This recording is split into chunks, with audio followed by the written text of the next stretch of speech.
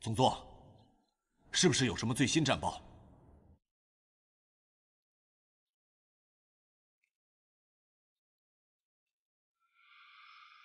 刚刚接到战报，共军的先遣部队已经占领了浦口，南京算是沦陷了。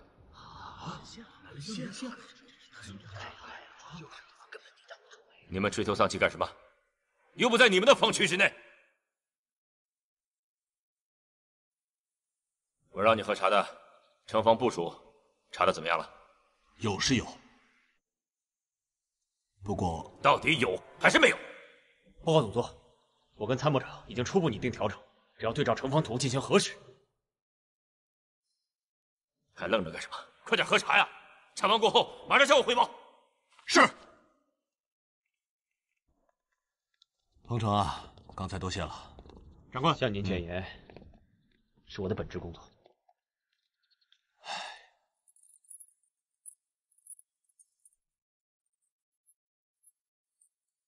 唉，防区这么大，兵力又捉襟见肘，光调整武汉的城防部署，有什么用呢？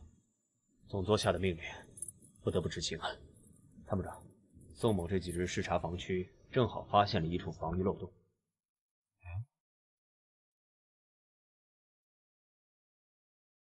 办公室说：“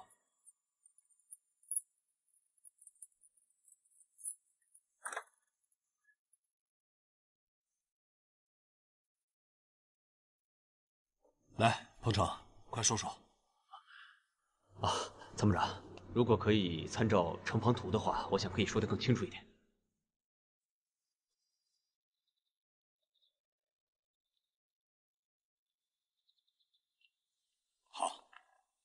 那你先回避一下。好。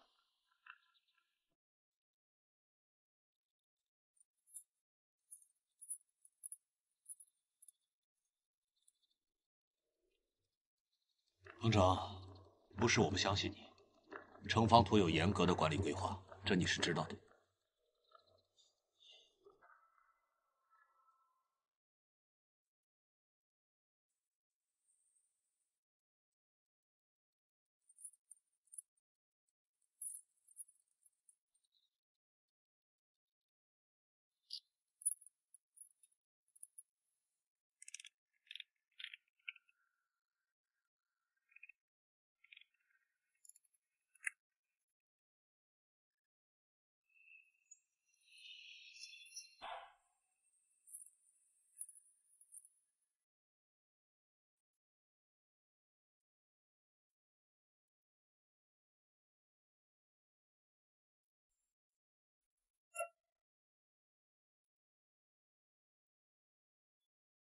好了，鹏程，还不止一道锁。我听你噼里啪啦的摁了半天，这可是最新的美国货，据说根本就无法破译密码。那要是万一断电了呢？怎么办？断电就会自动锁死，要想再打开，除非整个炸了。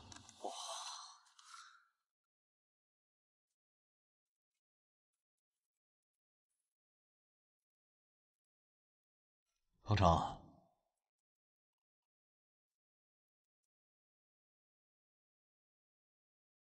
彭城，你说的防御漏洞在哪儿啊？在武昌东南侧。东南侧。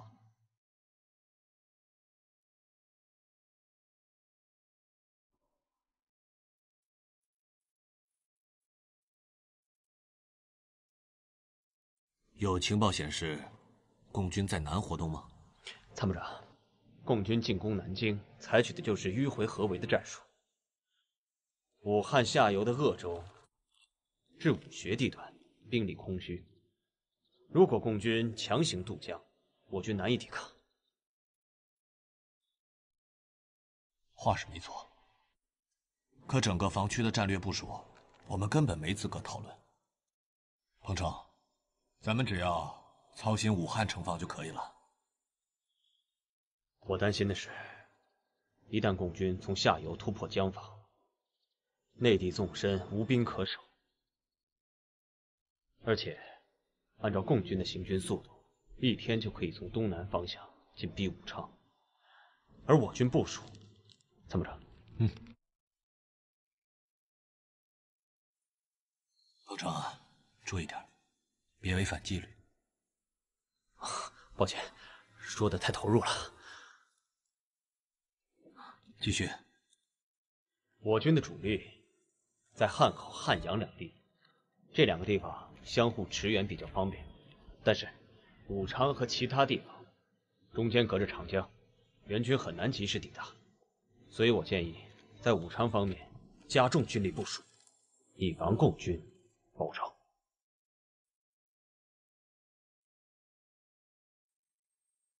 你的担忧不无道理。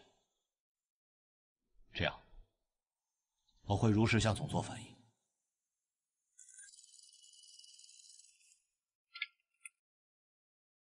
讲。参谋长，不好了，家里出事儿了，夫人，夫人她小产了。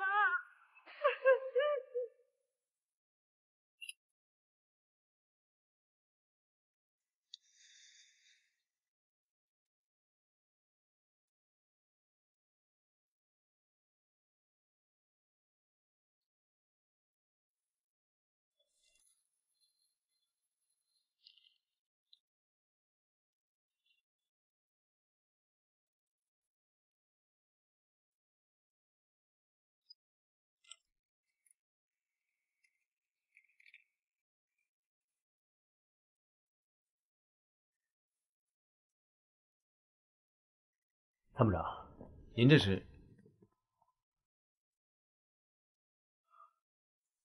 我夫人小产了。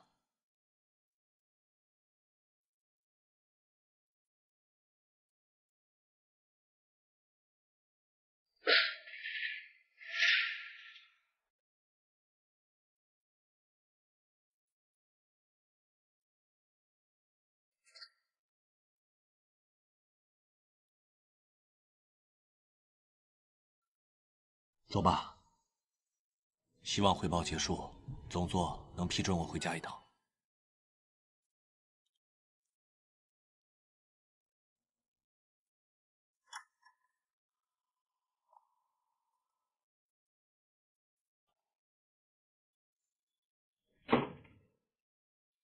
慕容科长好像对今天的行动很有意见嘛？谈不上有意见。机要科任务繁重，参加外勤难免影响我的工作。你知道你为什么跟了我这么多年，还是一个机要科科长吗？为党国效忠，职位无关紧要。你跟我演戏有什么意思？你我认识这么多年了，你的问题和宋鹏程一样，跟共匪暧昧不清，划不清界限。通共是重罪，站长不要乱开玩笑。我今天带你去，就是为了让你跟宋鹏程划清界限。你毕竟是我的下属，我不能眼睁睁的看着你走歪路啊。站长费心了，宋鹏程如果通共，我第一个不会放过他。不过据我了解，他绝对不是这种人。你有必要这么护着他？这么多年，他既让你跟着他，又不给你个名分，整天表哥表妹的相称，恶不恶心？秦某和你也算是认识多年了，你不如跟了我。站长，如果没有别的事儿，我先去工作了。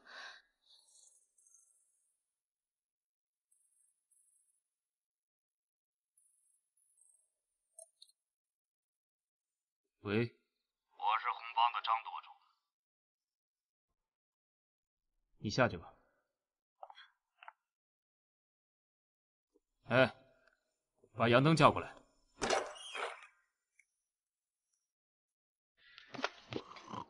站长让你进去。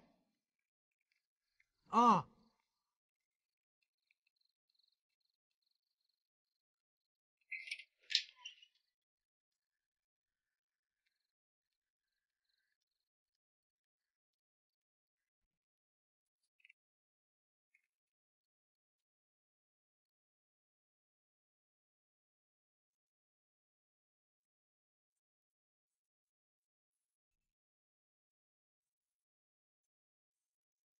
急什么？不是跟你说再等几天吗？姓秦的，不是我不信你，你们连南京都丢了，谁知道共军什么时候打进武汉？再拖下去，老子怕是人财两空。那你想怎么样？今天晚上十点，曾家港码头北侧见面。你还真想剁了我的手指头？那就要看你有没有诚意了。你今天不来，往后最好留在保密局，别出保密局的大门。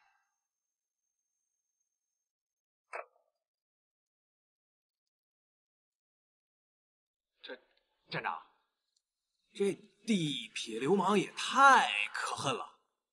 要不要我找俩弟兄，直接给他们剁了？我要弄死他们，易如反掌。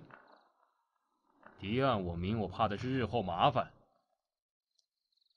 站长，可是万一今天晚上他们要加害于你，怎么办？还能怎么办？拿几根金条做保证金。等我把后路铺好了，拔了他的舌头。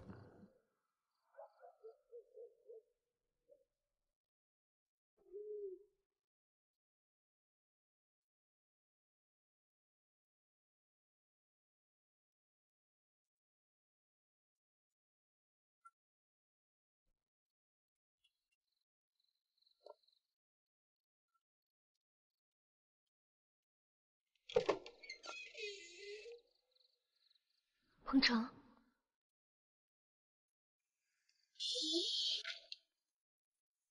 怎么样？回去以后，秦凡达有没有对你起疑心？暂时没有，他没有确切的把柄。那你这次来，我不能来看看你吗？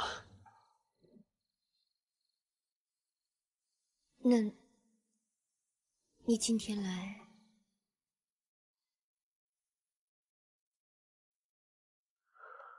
百合，你为了完成任务，连自己的命都可以不要吗？其实，有谁会不在乎自己的生命呢？那你还不放弃？鹏程哥，从你认识我，什么时候见我放弃过？你了解我的。后来我认真想了想，人各有志。也许我不该强迫你帮忙。人各有志，哎，你这是故意讽刺我吗？事到如今，你开始用激将法了是吗？彭程，正因为你能坚持信仰，我才敬重你，真的。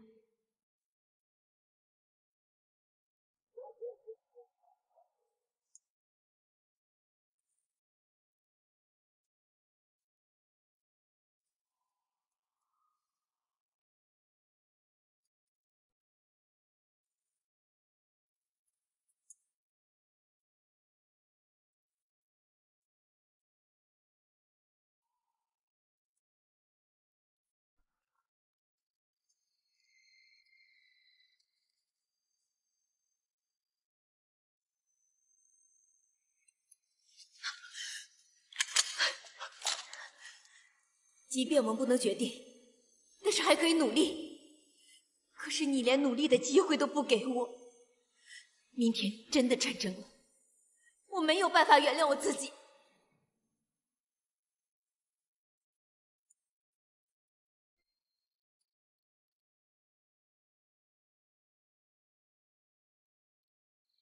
彭程，你真的已经彻底想通了吗？我得感谢你和袁波让我醒悟，我已经打算好了，参谋长胡明海是我们的突破口。今天下午我已经尝试跟他接触，但是这个人警惕性非常高，毕竟如果城防出失窃的话，他可是要掉脑袋的。有机会策反吗？几乎不可能。倒不是说别的原因，胡明海这个人非常的胆小，现在军统的内部监察。搞得人心惶惶的，像他这种人，无非就是想搞一张撤退的机票罢了，不可能冒险的。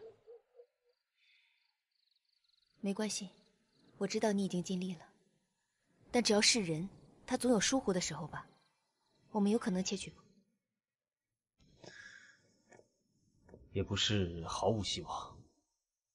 存放城防图的保险箱有两道锁，第一道锁是密码锁，我可以想办法，但是另外一道锁是需要特殊的钥匙才能打开，而这把钥匙，胡明海随身携带，很难搞定。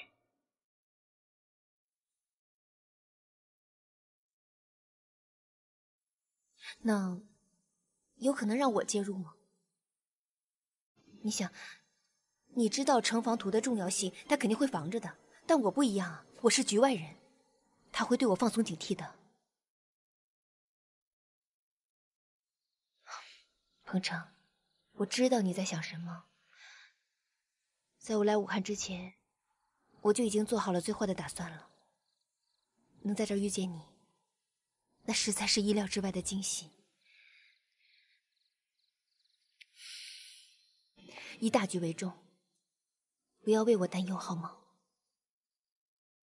进入胡府也不是没有机会，但是太危险了。秦凡达现在已经盯上韩医生这个身份了，你不能露面。可是，一个女人藏在庙里面，她并不是最好的掩饰，说不定胡府才是最好的藏身之处。彭程，相信我好吗？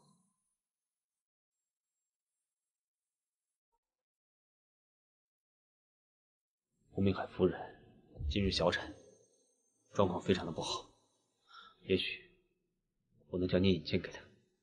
好啊，这是个好机会。那你告诉我，那把钥匙长什么样子？这把钥匙非常的特殊，你一眼就能分辨出来。先坐，咱们把后面的细节想想。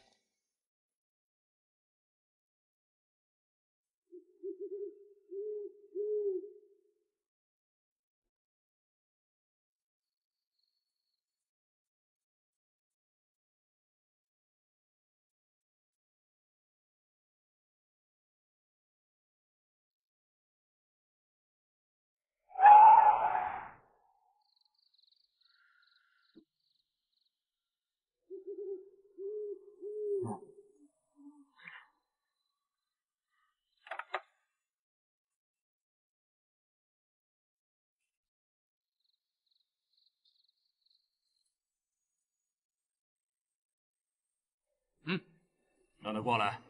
是。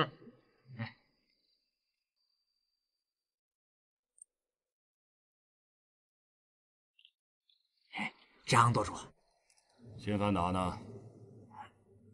张舵主，你稍安勿躁。站长他在车里等您呢。张舵主，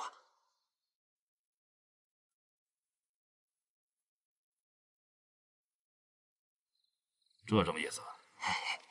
这个是站长给您的保证金，具体事宜呢，您还是到车里跟他单独聊聊吧。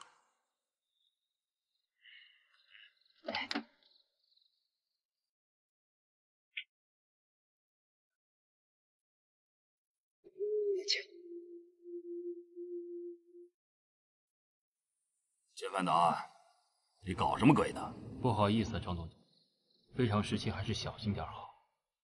您要是不愿意上车，就受点累，咱们就这么谈。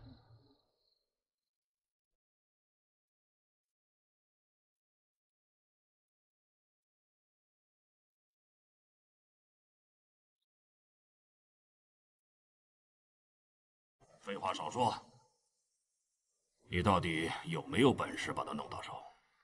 张舵主，我跟你说了多少次了？那张文件方式您都已经签字了。再说了，物资从上缴到回库需要一定的时间，你干着急没用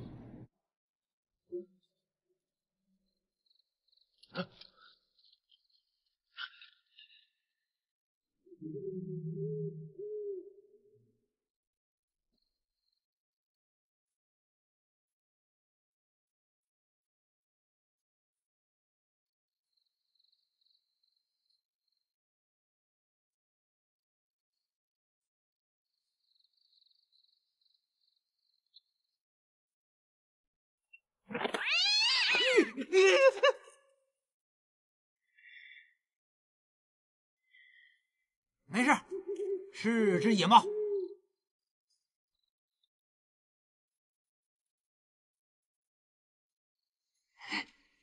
站长，没事，是只野猫。张舵主，不要草木皆兵。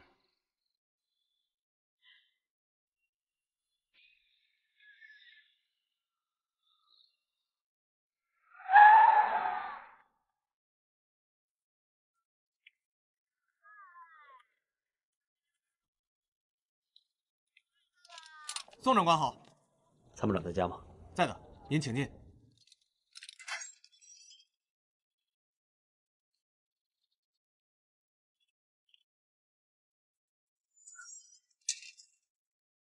所有医生都死光了吗？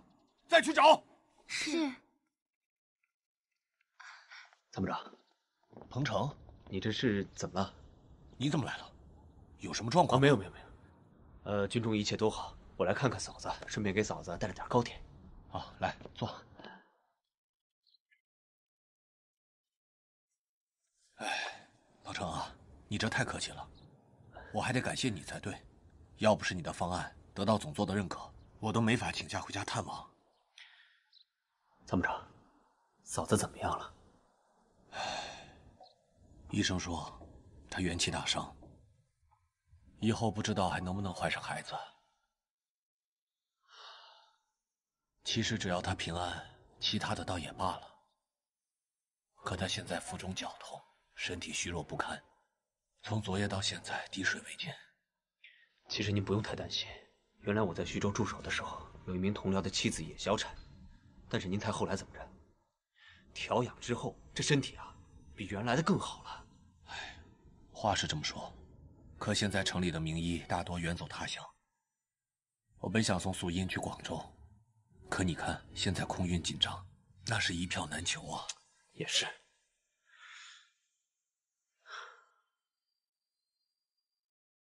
哎，参谋长，我原来在普济寺静养的时候，有一名游医，恰巧也在寺中，医术非常的高明。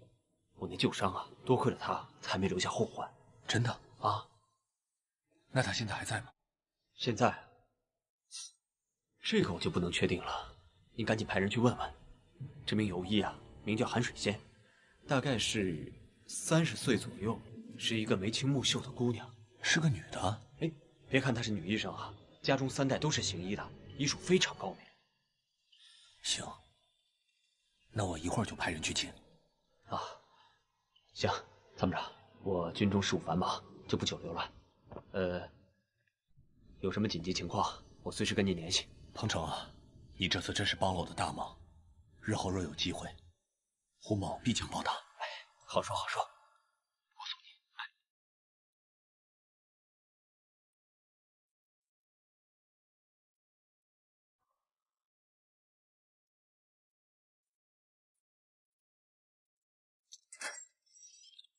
请留步吧，彭城。多谢了，我明日就去普慈寺请韩医生去。之前的事就有劳你了。啊，参谋长，我走了。嗯。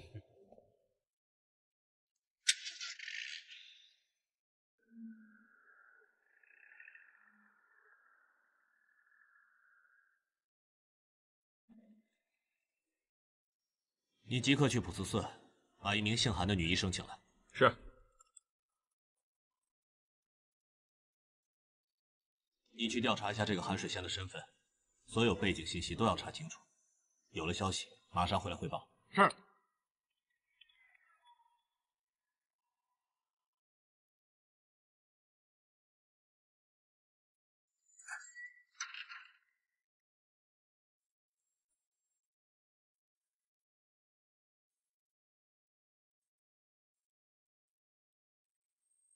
长官好。嗯。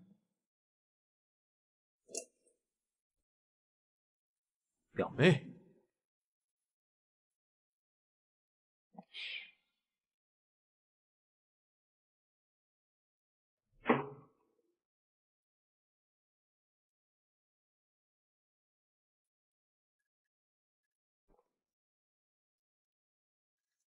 今天你怎么来了？今天值夜班，白天没什么事儿，就过来看看你，顺道给你带了点水果。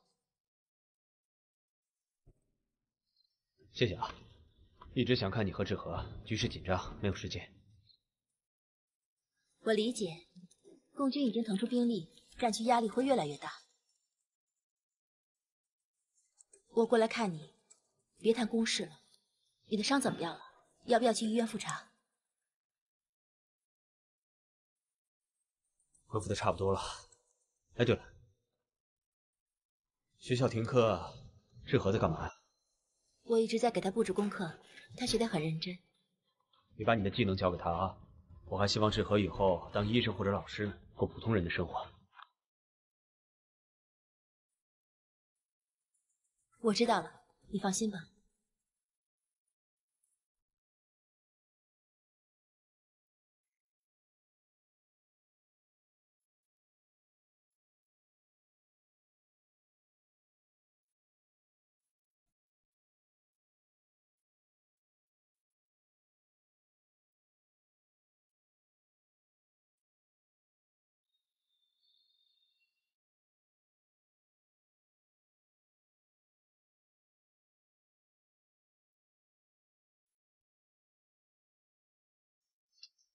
我先走了，不打扰你了。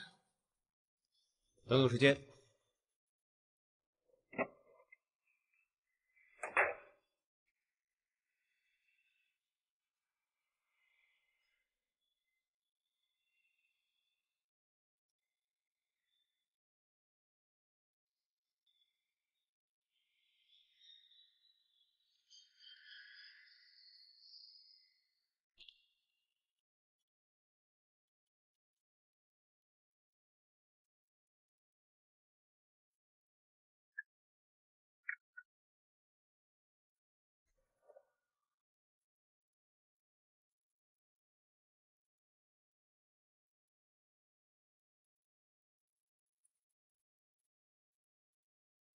长官，医生请来了。啊，你就是韩医生啊？长官好，这位小长官火急火燎的把我叫过来，也没有说清楚原委。啊，实在抱歉，你先下去吧。是。我妻子昨日小产，一直腹痛不止，我实在是心急如焚啊，才忘了该有的礼数，请韩医生见谅。治病要紧，尊夫人在哪儿？她在里屋。不过。您介不介意我先问几个问题？您请讲。请您简单介绍自己的身世。可以理解。我生于四川隆昌，家中三代行医，在当地开了一个小药铺，名为建安堂，有一定小名气。五年前，我四处行医，先后去过云南、江西、湖南等地方，前不久刚到的武汉。那韩医生为何要放弃祖业？过这种居无定所的生活呢？抗战初时，家父随川军出征，他所在的那个医疗站被日军轰炸了。后来我母亲知道了这个消息之后，急于成病，不久也去世了。所以我实在抱歉，我不该追问这么多。韩家忠良爱国，胡某佩服。韩医生，里面请。好。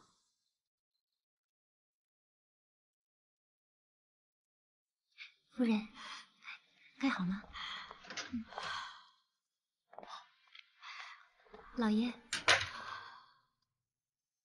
苏英，这位是韩医生，你稍加忍耐，马上就会好起来的。孩子，我的孩子，你让我死了吧！别胡说，孩子没有了，我们可以再要。你没有了，我怎么办？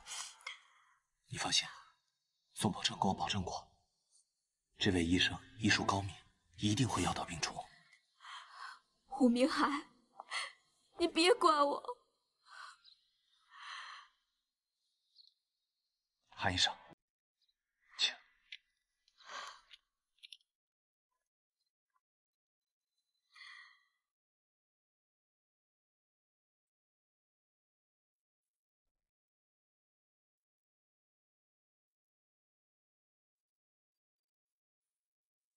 他怎么样？夫人多半是体内受了恶寒，他现在身体太虚弱了，必须马上调养。都怪我，怪我没照顾好你。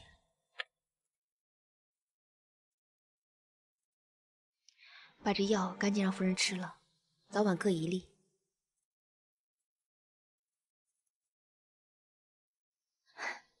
你放心，这药丸起到镇痛暖宫的作用，还能助人安眠。因为药效温和，疗效广泛，所以我才会随身携带的。按韩医生吩咐，按时给夫人服药。好。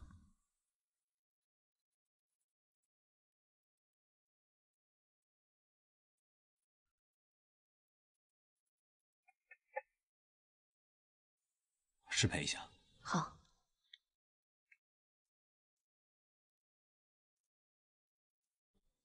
韩医生，给您水。夫人，吃药了。长官，我有事情向您汇报。我马上过来。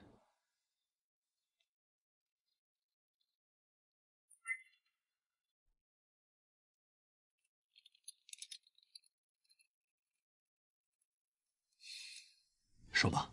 我到警察局调查过，没有他的入城记录。不过我又去了市政府，打电话给四川省从医者备案处。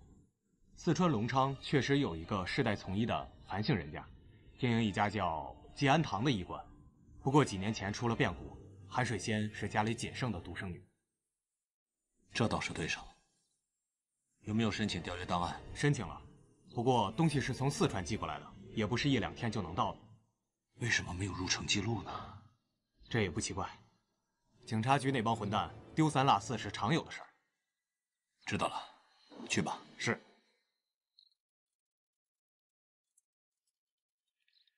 中午太阳好的时候啊，可以开窗户通通风。嗯，但是一定要把被子盖好。好。现在早晚温差太大了，不要放了寒气进来。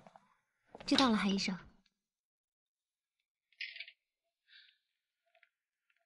胡长官。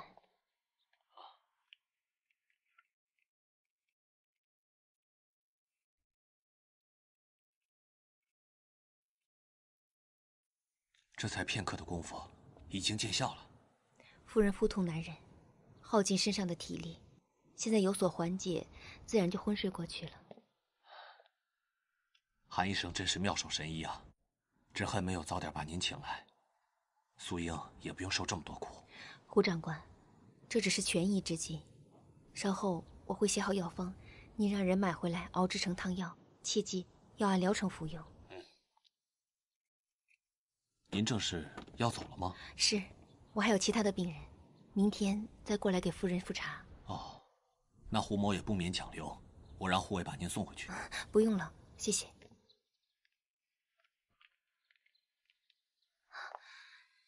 叮嘱佣人，配药的剂量一定要精准，药材也需要辨别真假，熬药的时候火候、先后顺序、时长，我都会标注清楚的。这个，他们又不是医生，万一有些差池呢？中药材的性质都是相生相克的，绝不能胡乱搭配。不过您放心，我会在药方里面详细注明，普通人配置起来也不会那么困难。哎，韩医生，请留步。啊，您看，我这些佣人吧，笨手笨脚的，恐怕做不了这种精细活儿。呃。要不劳烦您就在寒舍住下，不管您有什么要求，尽管提就行。夫人身体这么虚弱，说实话，我也挺担心的。可是我还有一个病人需要我去医治，我答应了，今天要去送药的。这倒无妨，您只要写好方子，我差人一起买了，替您送过去。这些费用全部由我承担，还有您的行李，我命人马上替您取回来。胡长官，您对夫人情深意重，我都看在眼里。其实，她现在最需要的是你的陪伴。这个我知道，可我有军务在身，实在是身不由己。韩医生，请你留下来吧，胡某必有重谢。好吧，多谢。请准备纸和笔，我写药方。这边请。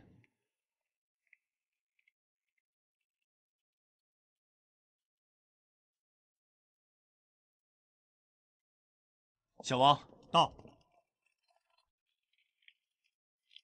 长官，一会儿你按照韩医生给的方子去把药材买回来。是，你跟丁老板说，要是把药以假乱真，以次充好，我饶不了他。明白。他说有个病人等着用药，你按他给的地址把药送过去。明白。到时候看清楚了，是不是真的有病人？明白。您放心。再找个人，去普慈寺把他的行李取回来。到时候也多加留意，他的行李是早就打包好了，还是摆在屋里的？明白，长官。是不是太谨慎了点？时局混乱，小心驶得万年船。是。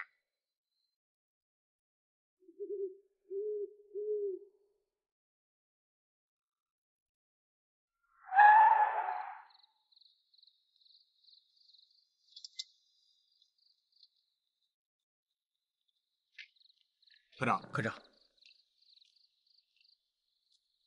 里面有什么动静吗？没有，呃，除了方紫薇偶尔会出趟门，没有什么陌生面孔出入。好，我进去看看。哎，科长，呃，站长吩咐过，任何人进出都得报告。那就报告吧。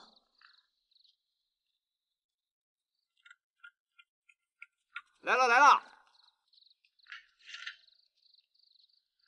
啊，慕容科长，我找一下方副市长。好的。里面请。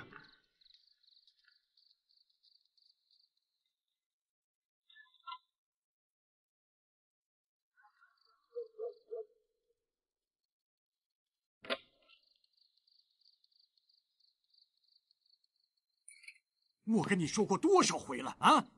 不让小姐出去，不让小姐出去啊！你是怎么搞的？老爷，小姐说了，她就是去外面转转，不走远。我们不让走，他就冲我们发脾气，摔杯子，我们拦不住啊！那你就进来，下去。是。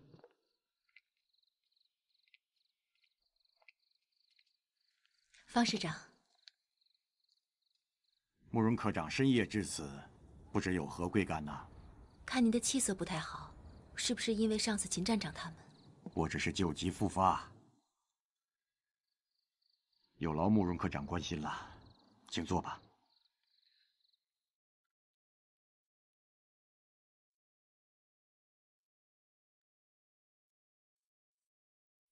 紫薇小姐不在家呀？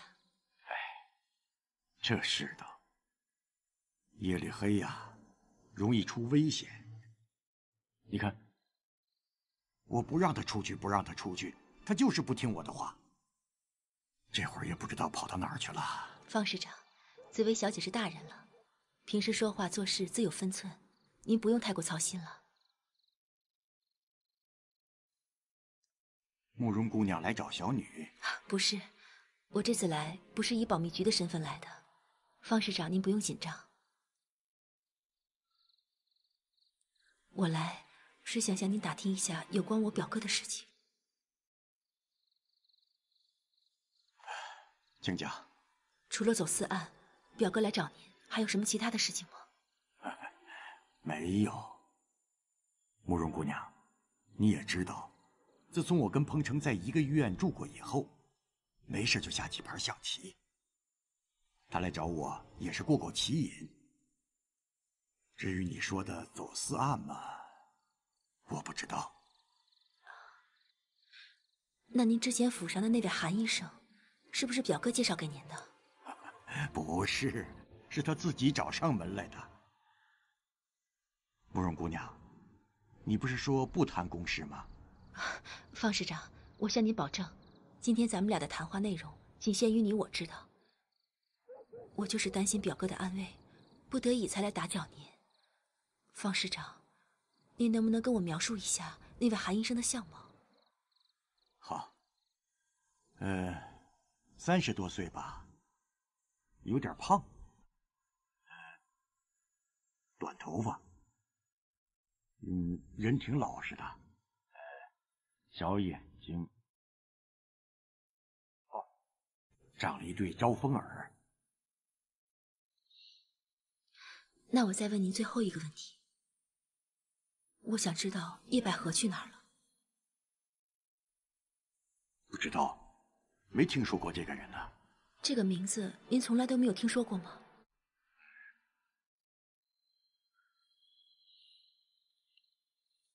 不打扰您了，我先走了。啊，我送你。啊，不用，您好好休息。慕容姑娘有时间来玩啊。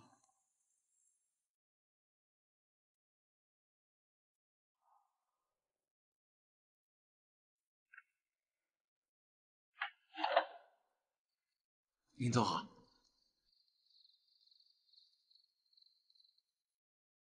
你们俩继续盯着。是是。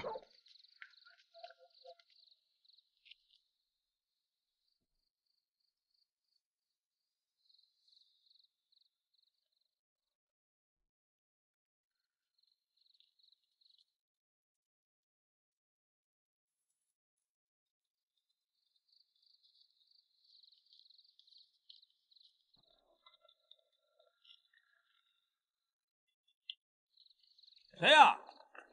谁呀？老总，你这是找谁呀？家里是不是有什么病人啊？病？哦，有有病人，我父亲已经卧床好几天了。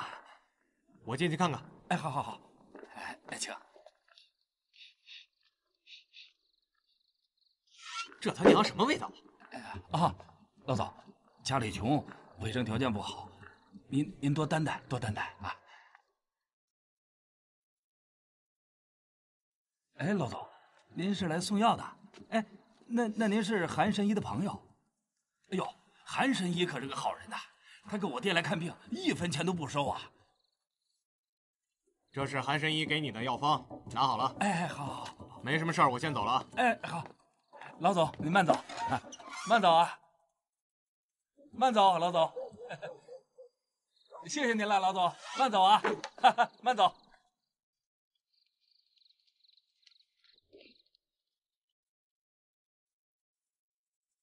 了，戏演完了，付钱吧。谢谢啊。来。哎，站住！哎，干嘛？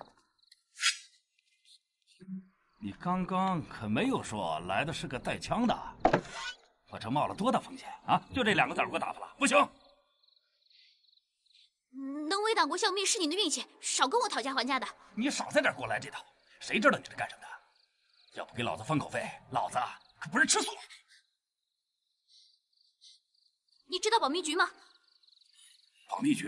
对啊，那个所有的人都知道的，你随便找个人问问，谁不知道保密局的慕容秋啊？这，那刚才那个人也是当兵的，你为什么要骗他？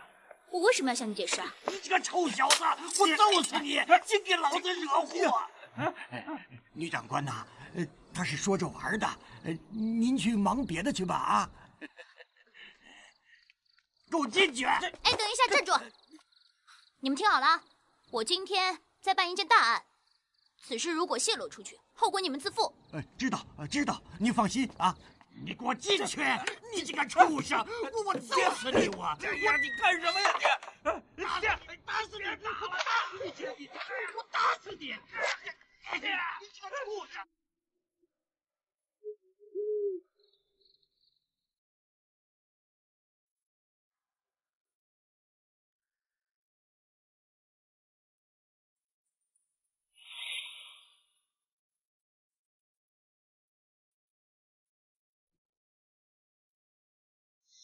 师傅，嗯，这位韩医生在这大概待了多久了？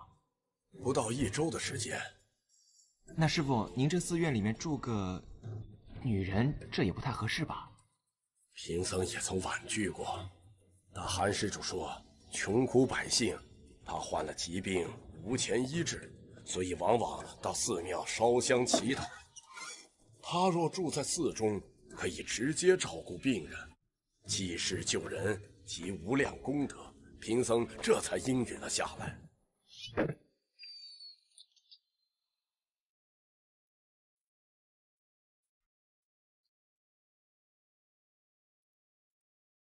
您是受韩施主所托来的吧？他这是要离开吗？师傅，他最近在医治一位特别重要的病人，所以暂时可能不会回来了。哦，还有这个。您看看。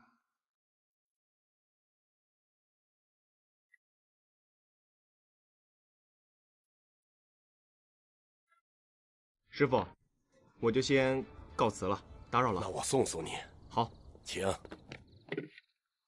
好。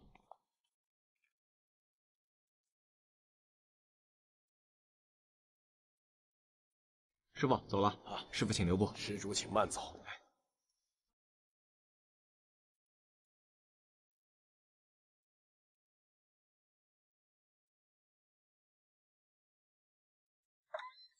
啊，阿弥陀佛，师傅。慕容施主因何深夜至此？老师傅，我想向您打听一个人。请讲。您认不认识一个叫韩水仙的医生？韩医生在寺中住过。嗯。小师傅，那他现在搬走了吗？嗯。你与韩施主认识吗？啊，是宋鹏程让我来找他的。您知道他的去向吗？原来宋施主与韩施主是认识的，我未曾听他们提起过。不过他昨天也离开庙宇，行医四方，不知他的行踪了。那您能不能跟我说一下他的相貌，我也好去找他？他他的相貌，慈眉善目，颇有慧根呐。这，您能不能再描述的详细一点？阿弥陀佛。出家人非礼勿视，老僧没有仔细打量过他。那您能不能带我去看一下他之前住过的房间？好吧，那请随我来吧。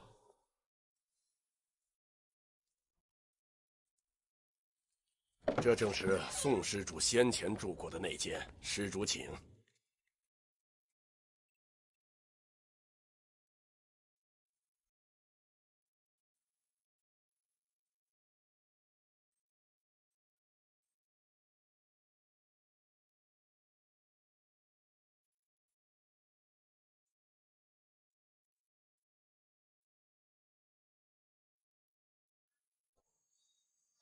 请您如实相告，他是哪里人？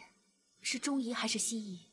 他是中医，听他口音好像是北方人。那好，打扰了。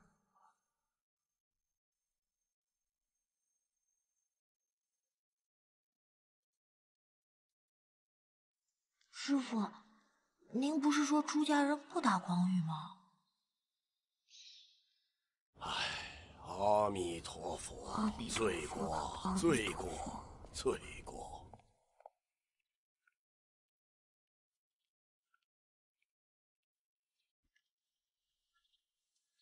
进。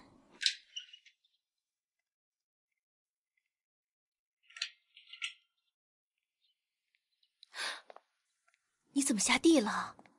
哎呀，我不是交代过吗？一早一晚不能开窗户，温差太大了。这么闷着，我受不了。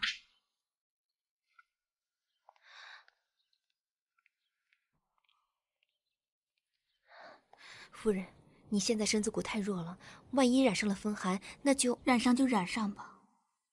孩子都没了，我活着还有什么意思？胡夫人，你可千万别这么想。虽然是小产，但只要养好了，你这身子骨啊，会比原来还要好，不影响要孩子。韩医生，你可真是好本事，这两服药下去，就像是把肚肠给顺了一遍。要不是有你在，我早该活活疼死了。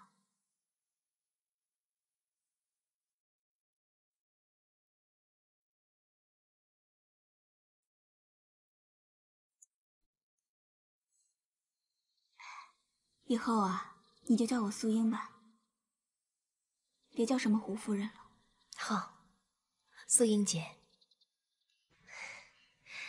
你是不是还在生胡长官的气呀？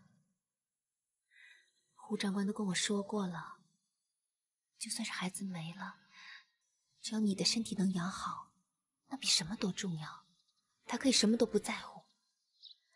你听听，有几个男人？对妻子，他比对自己的孩子还要重要的。苏英姐，你嫁了个好男人。安医生，你还没有成家吧？那就听我一句劝，千万不要嫁给当兵的，就算他再爱你，那有什么用呢？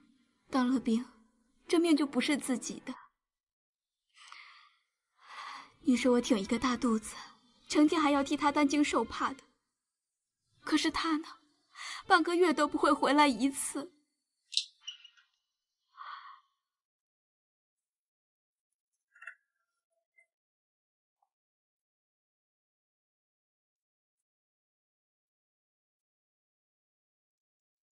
胡长官，韩医生，辛苦你了。应该的。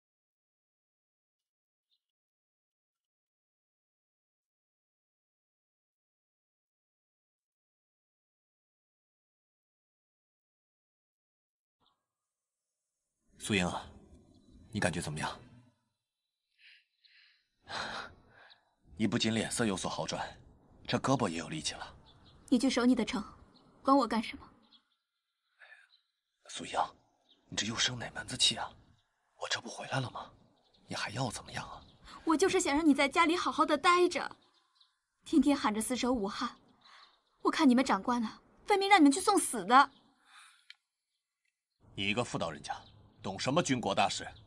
这种话以后不许再说。韩医生，你听听，这就是这些当兵说的话。当兵怎么了？没我这当兵的，你能好好在家躺着，大房子住着？胡搅蛮缠，也不想想，我拼死拼活的为了谁？还不是为了你，为了咱们这个家。为了我？你要是真为我着想，早就应该离开军队了。素英啊，你以为从军打仗这是儿戏啊？我能说走就走吗？胡长官，我有些话想跟您说，不知道方不方便。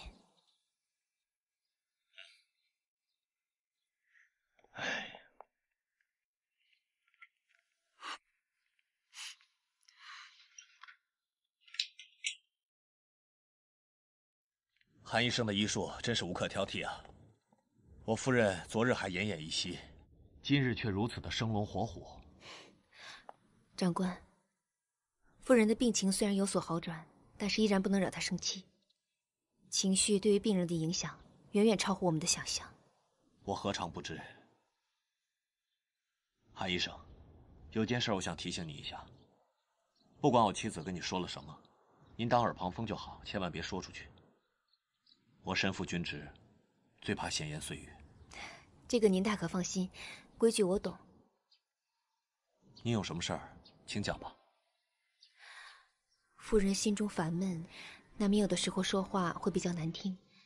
但是就在刚刚，她还在跟我说，她最担心的就是您的生命安危。她这辈子不求别的，只求跟您长相厮守，安安稳稳的过日子。我担心夫人之前小产，都是因为心中焦躁所致，所以，如果你有时间的话，尽量多陪陪他，不必凡事据理力争。女人很多时候还是喜欢甜言蜜语的。我明白了，可眼下我哪有时间留在家中呢？穿上这身衣服，就得为党国尽忠啊！我理解，之前的宋长官也跟我讲过军中的纪律，您尽力而为就好。我现在必须得走了，晚上争取回来一趟。韩医生，麻烦您多陪陪我夫人，开导开导她，胡某必将重谢。应该的。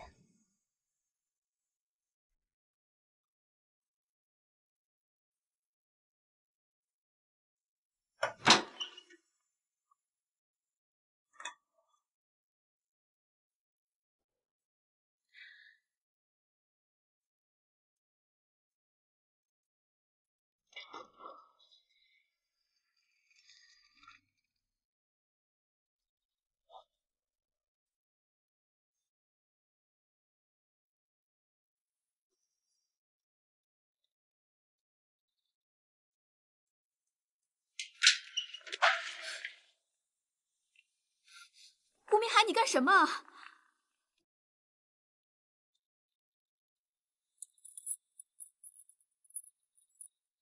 胡长官夫人定期要做妇科检查麻烦您下次回来的时候提前敲一下门。好知道了。我先走了。还有麻烦您帮我问一下宋长官的身体恢复的怎么样了？如果需要的话我再送几副愈合伤口的药膏给他。行记住了。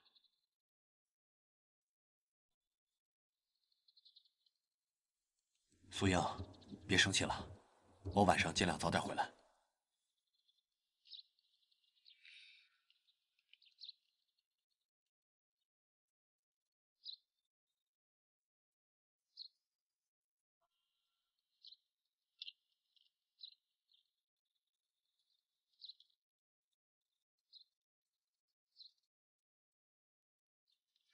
夫人，我突然发现有几副药材用完了，我出去买一下，等我回来再给你做检查。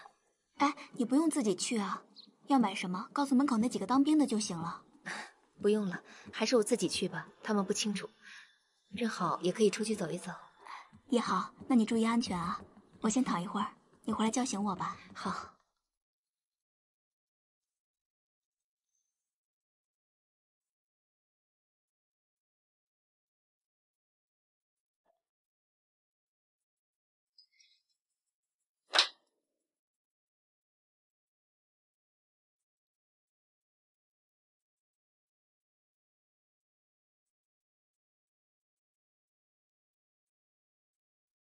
长官好，长官好。嗯，参谋长，彭程啊，参谋长，你在这儿干嘛？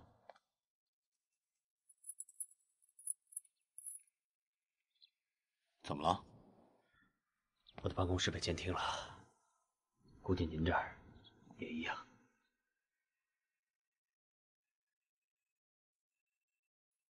你确定？前两天慕容秋提醒过我，说保密局要采取行动，监控司令部的军官。今天早上我发现电话有异响，我检查了办公室，不只是电话线路，整个办公室全都是监听器。这帮混账东西，以前还能搞点情报工作，现在除了倾轧同僚，屁都不会。如果再纵容下去，我怕他们会越来越肆无忌惮。这件事儿，我会找机会向总座反映。不过，彭城，保密局敢这么干，多半是有上峰的指示。要是事情闹得太僵，对咱们也没什么好处。对了，你伤好的怎么样了？嗯。啊，韩医生让我转告你，如果需要的话，他会再做两副膏药带回来。啊，呃，请转达我的谢意，伤已经好的差不多了，应该不用了。那就好。彭程啊，改天一定要请你好好喝两杯。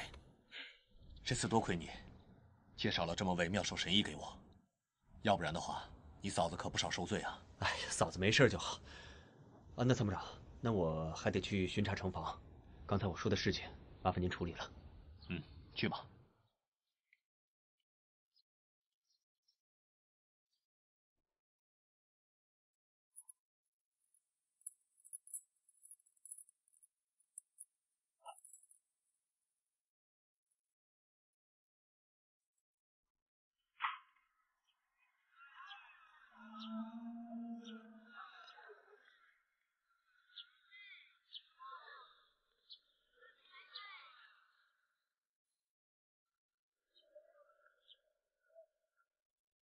长官，又有人盯梢，也不是第一次了，别管他。怎么了？保密局这帮王八蛋，明摆着躲都懒得躲，太嚣张了。你也真是的，非得查辛凡达的案子。你觉得有问题？不是，您和秦凡达也算老相识，他是个什么人，您比我清楚。现在这种局面，多一事不如少一事。不管现在是个什么局面，我绝不会让秦凡达肆意妄为。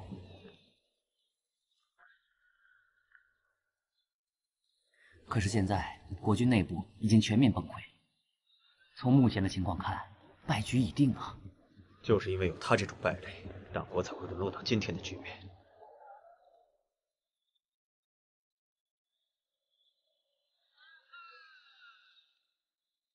三娃啊，你上前面给我买点糕点，我上那边一趟。好。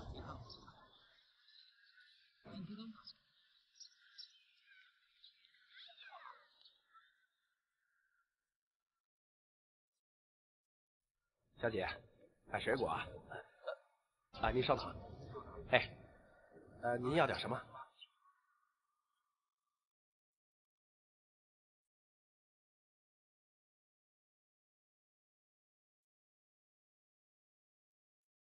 有人盯梢，安全吗？目标是我，你的身份安全。这位长官，我帮您挑选好的，我自己挑。是是。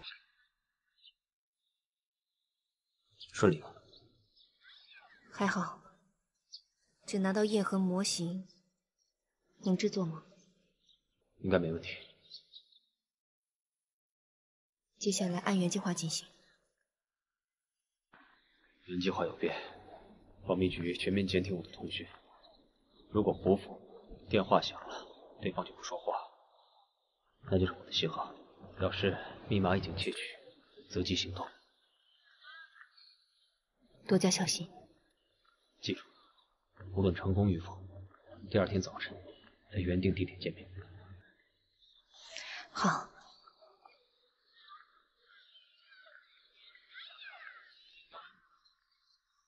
老板，多少钱？啊，呃，您您看着给就行，最好呢。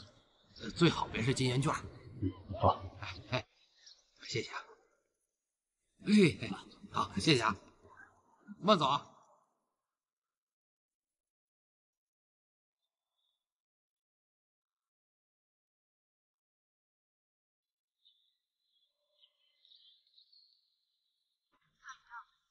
三马啊，你把这些水果送到胡府上去，就说是我的一点心意。好。那您呢？我还有点事儿。大哥，注意安全。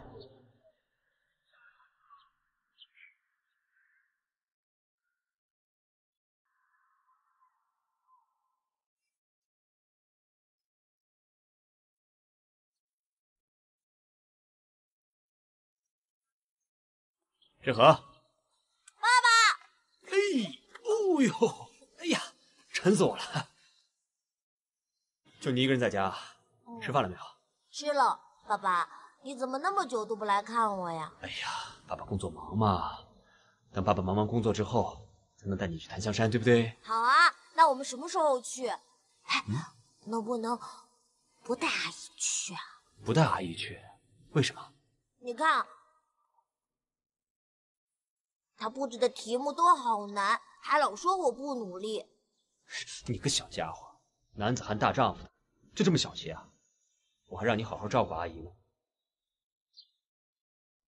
志和，你先把题做了啊，爸爸进屋办点事儿，一会儿咱们再玩，好不好？我不想做题。听话。这样吧，等你做好了题呢，爸爸给你讲《三国志》桃园三结义的故事，怎么样？好啊，那你可别骗我。爸爸怎么会骗人呢？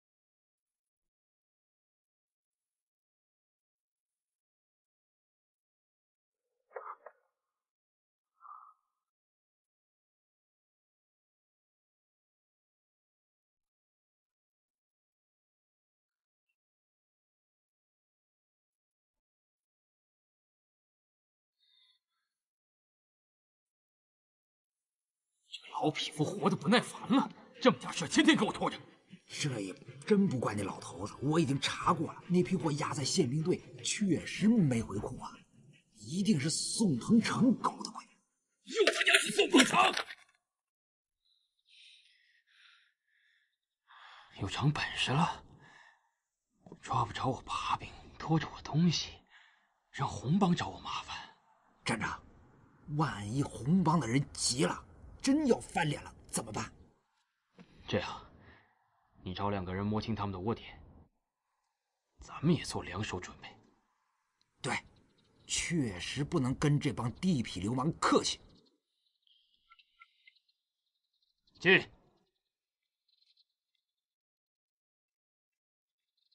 报告，宋鹏程有异常举动。行。他从司令部出来，去了钟家村集市，之后便跟司机分开，独自步行去了慕容科长家。慕容秋呢？我来的时候，他刚出大门，应该是刚值完夜班。司机呢？司机去了胡明海府上。胡府？我查过了，胡明海的夫人前任小产。我看到司机拎着一兜水果，应该是宋鹏程派他送去的。你先下去吧。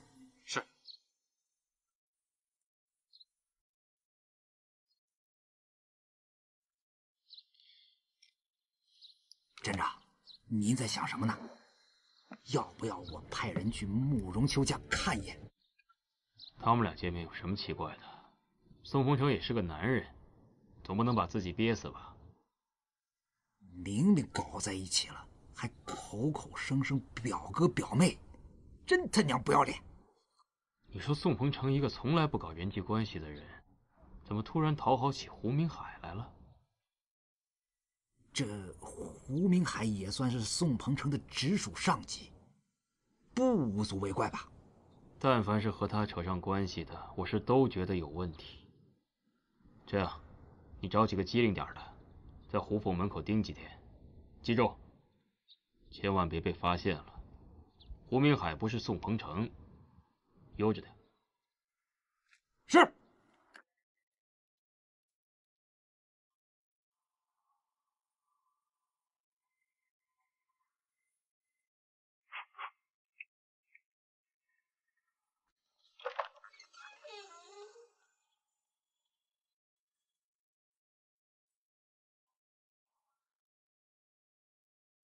虎子，你先出去。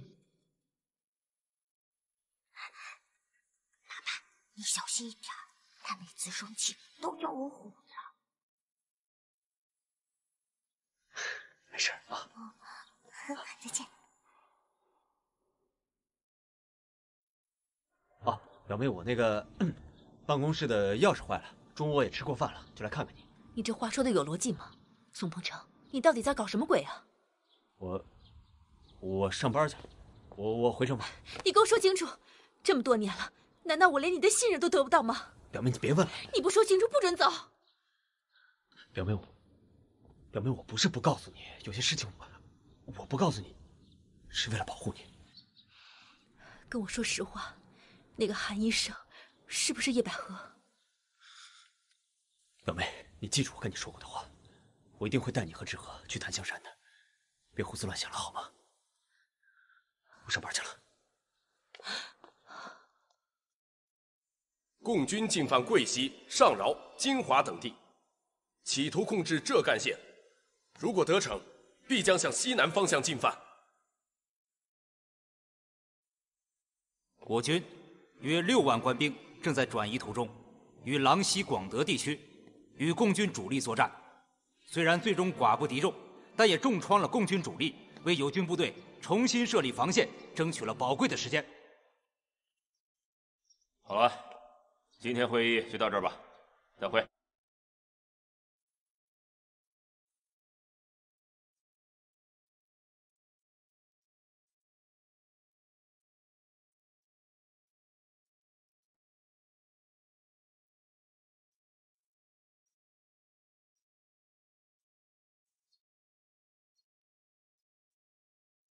司令，我有话要说。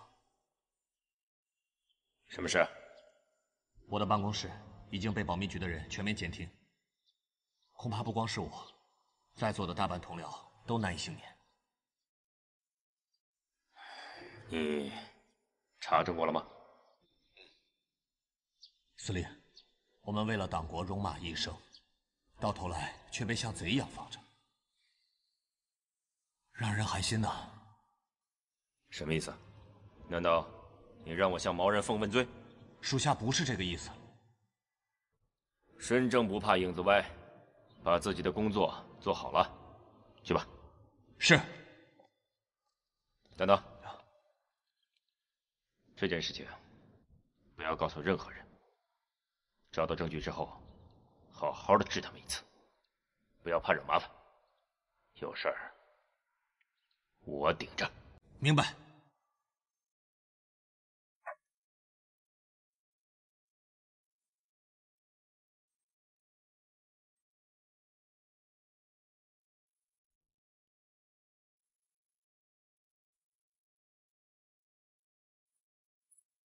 哎，参谋长啊，这么快就散会了？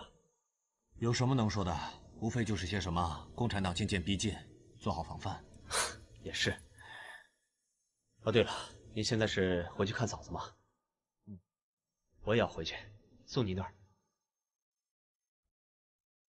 行，正好我有话要跟你说。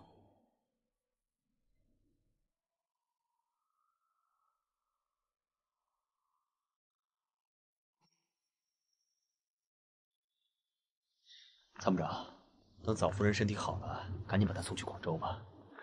现在共军大举逼近，恐怕这里难免会变成战场。我何尝不想？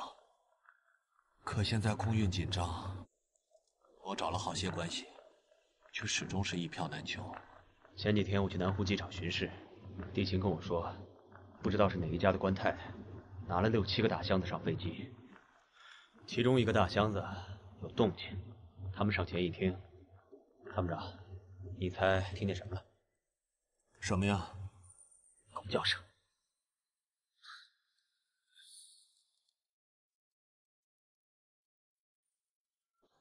唉，心寒啊，真是心寒啊！市政府那边有空运配额，负责人是方副市长，我跟他还算有些交情，要不回头帮你问问，看看能不能搞张机票。鹏程啊，你要真能帮我搞到机票，那我胡明海这辈子都欠你的。哎，言重了，我只是帮你问问，也不敢打包票。你有这份心意，我已经很感谢了。对了，我已经向总座反映了监听的事，总座没有明确指示。那总座是怎么回答的？只说如果抓到现行，可以给他们点教训。看来就算到了总座这个位置，也不敢轻易得罪保密局啊。要是这么放任下去，他们一定会变本加厉，搞得人人自危。仗还怎么打？恐怕他们已经变本加厉了。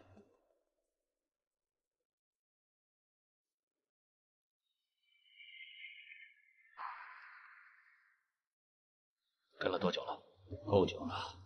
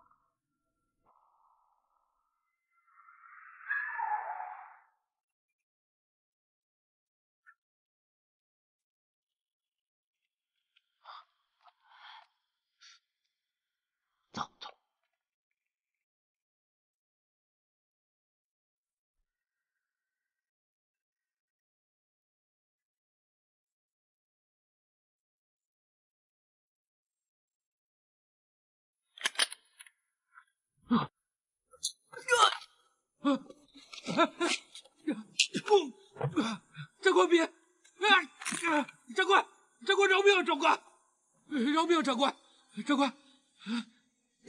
说，你受了谁的命令？胆敢跟踪党国军官？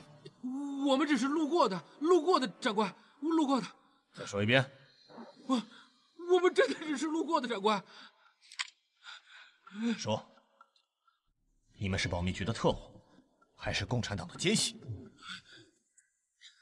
呃，说说说说说说说说，我们是保密局的，保保密局的自己人，自己人，长官。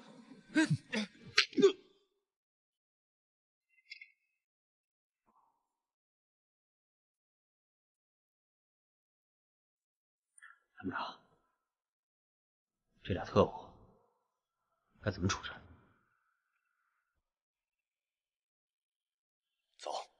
带他们俩去保密局。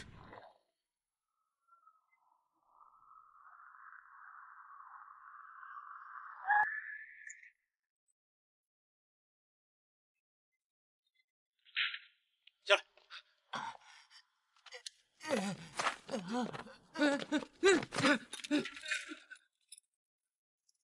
干什么呢？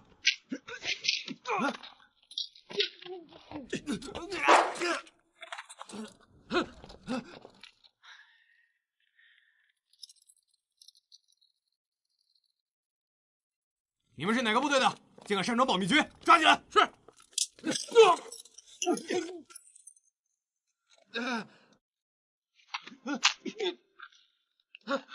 快！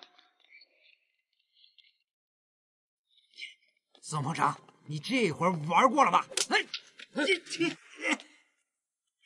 抓起来！是，谁敢？我是城防司令部参谋长胡明海，叫秦凡达出来说话。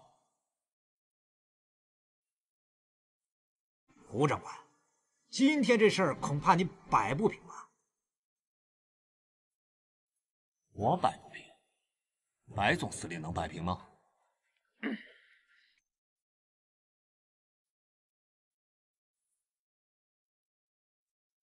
我明白了，您就是想见秦站长。好，那您跟我上去，站长自有定论。站长。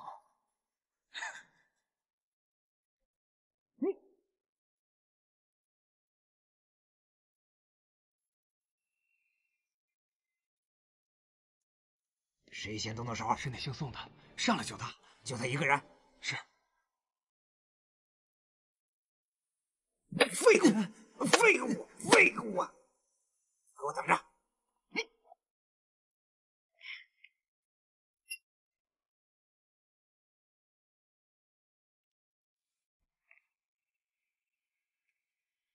秦站长，我很想听你跟我解释解释。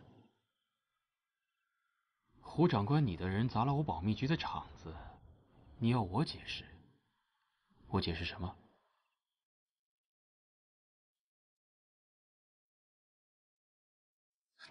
我是得解释一下。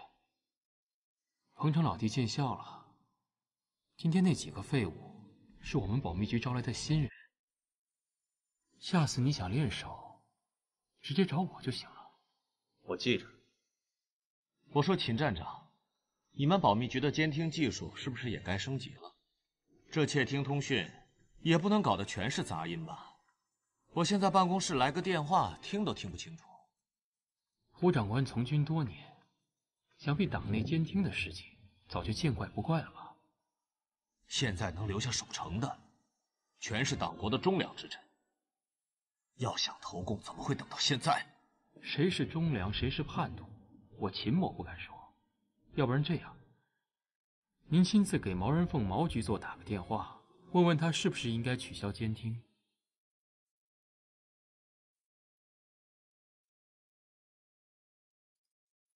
既然您不想打这个电话，我们就聊聊刚才的事儿吧。宋鹏程打伤保密局的军人，是您授意的吗？没错，是我授意的。那还说什么？我保密局成立至今就没受过这种气。鹏程啊，你说什么动物在咬人之前先乱吠一通？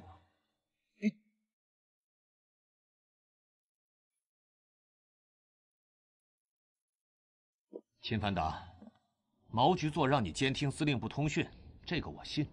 可他给你下令让你跟踪监视我了吗？老子好歹也是个少将军衔，你长了几个胆子，敢下令跟踪我？跟踪？胡长官误会了吧？别跟我装傻充愣。那两个便衣特务就在大门口躺着呢，不是跟踪我，那是跟踪宋鹏程。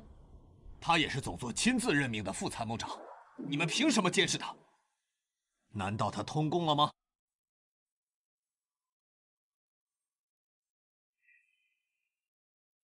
我秦某办事一向讲究证据。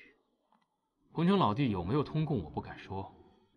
但是他今天私闯保密局，打伤保密局的军人，往轻了说，这是违反军纪，得送上军事法庭；往重了说，你们这是阴谋破坏国家安全机关，就算送审也不为过吧？哼，谁跟你说我们这是私闯？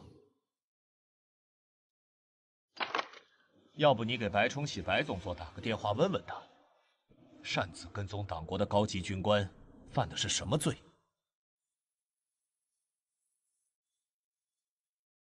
打呀！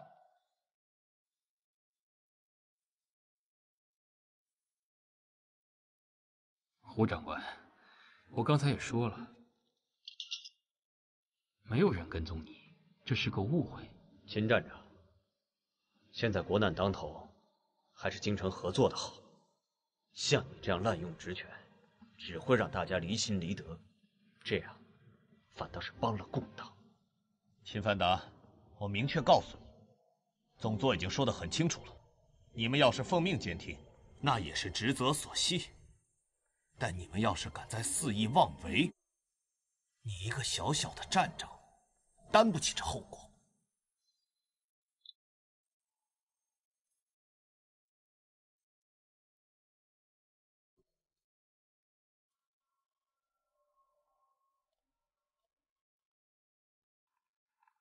哟，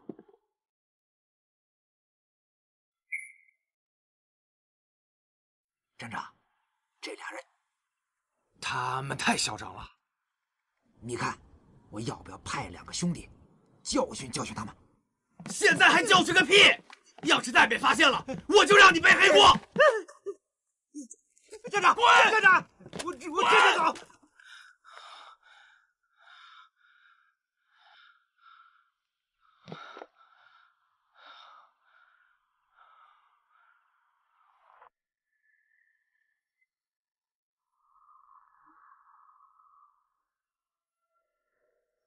哎呀，今天总算是出了口恶气啊！哼，彭城，你那司机到处吹牛，说你当年跟小鬼子拼刺刀，以一敌三都不输给他们。今天亲眼所见，算是信了。都传到你耳朵里来了，看来我得管管这小子。哎，呵呵。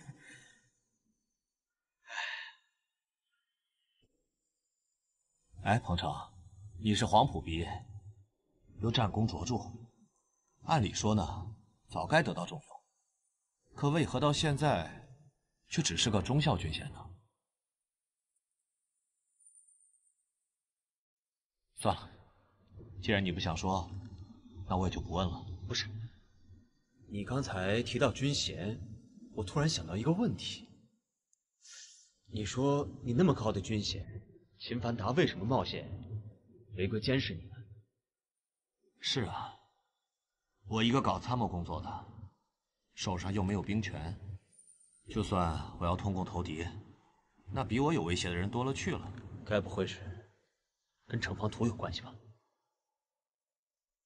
不会，你的分析倒是没错，但城防图就锁在司令部的保险柜里，这帮共党的本事再大，也不可能偷得走。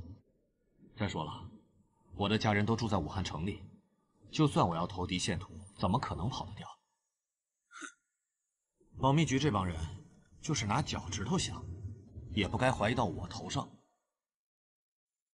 参谋长，你上次检查城防图是什么时候？上次检查是……部长，快，赶紧送回司令部。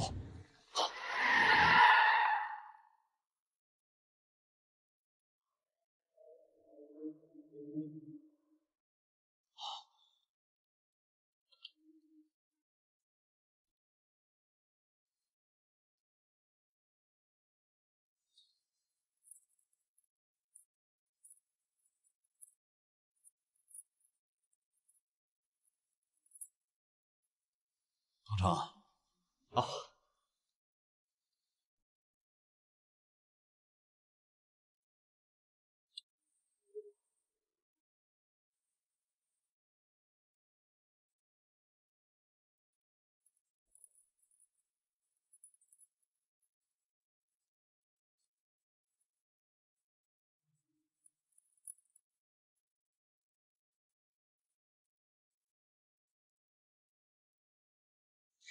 Yeah.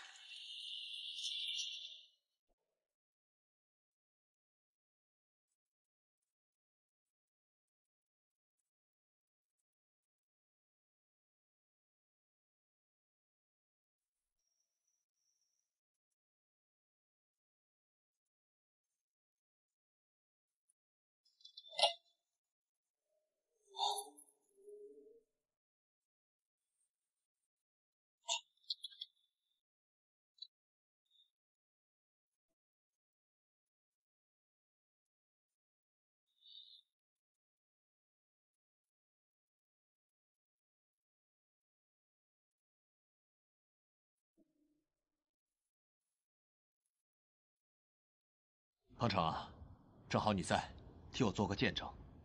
你都看到了，这城防图可好好的在保险柜里放着呢。啊，是，看来是我多虑了。哎，刚才那两句话，真是把我吓得头都晕了。呃，参谋长，呃，既然是虚惊一场，咱们赶紧走吧。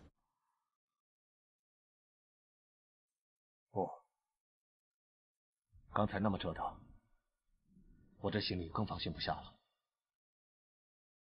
你先回去吧。您不回去了？嫂夫人还等着您呢。算了，明天再说吧。见面了，也免不了要争吵；分开了，各自清静。时间不早了，你早点回去休息吧。好，那我先走了。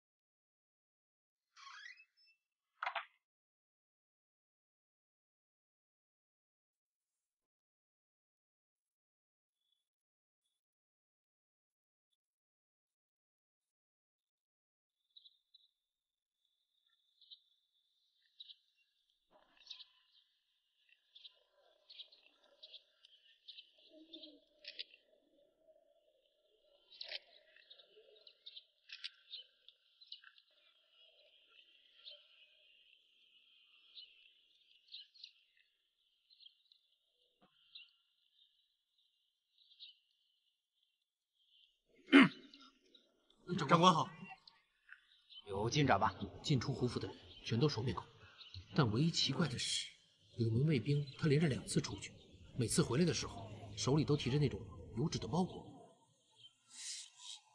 油纸的包裹，就那种药店用来打包的油纸。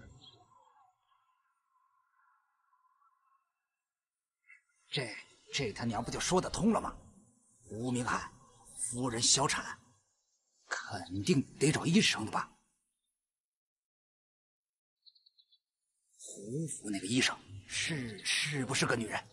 这进进出出的只有卫兵和佣人，我们也尝试着去套话，可这胡府的人嘴巴都特别严，什么都不肯说。你们俩继续监视。是。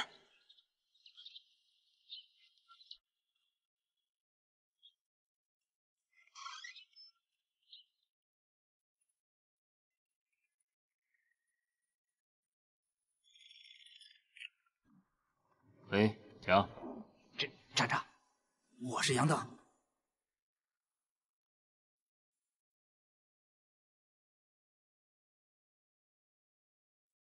小子总算有点长进。我说姓胡的怎么和姓宋的走的那么近？站长，那我们接下来该怎怎么办？想办法核实，最好能搞到照片，剩下的以后再说。是。哎，小心点不能让胡明海发现了。站站长，我办事，你放心。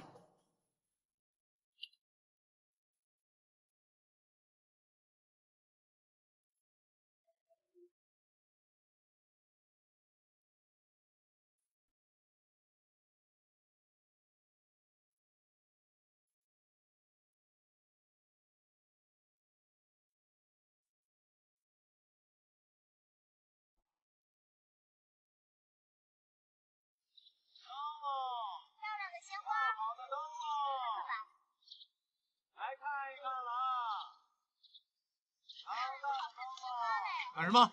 哎哎，长官，赶紧滚！不是长官，您听我说完了吗？我这些呀都是新鲜药，都是刚从地里采过来的，不知道贵府需不需要？少废话，赶紧走！不是长官，您闭嘴，赶紧走！哎，你等等，你等等啊！我说韩医生不是老找咱们买药吗？这不现成的吗？要不然我去问问韩医生，省咱出去买了。行，行行，你等着吧。哎，行行行行，不急不急不急。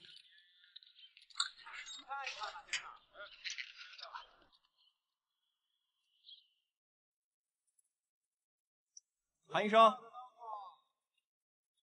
那边有个卖药的。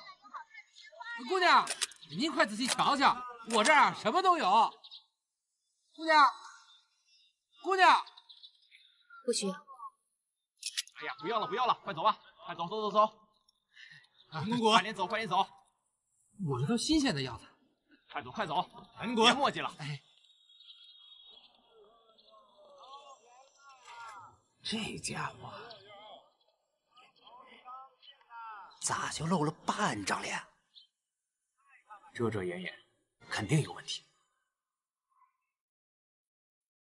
这个女人一再的接近军中要员，肯定有问题。嗯，你给我盯紧了。明白。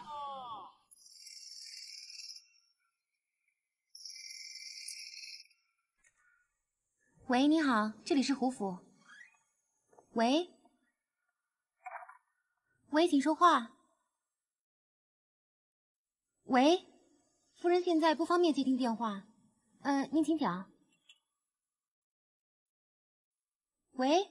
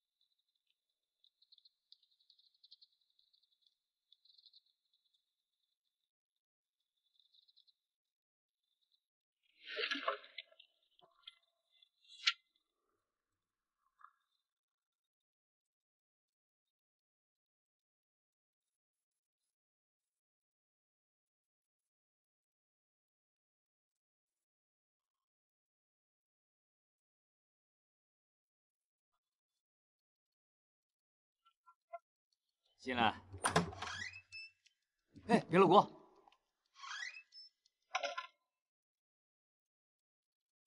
慕容科长，正忙着呢。啊，能帮我洗点照片吗？是我私人的。可以啊，不过你得稍等我一会儿。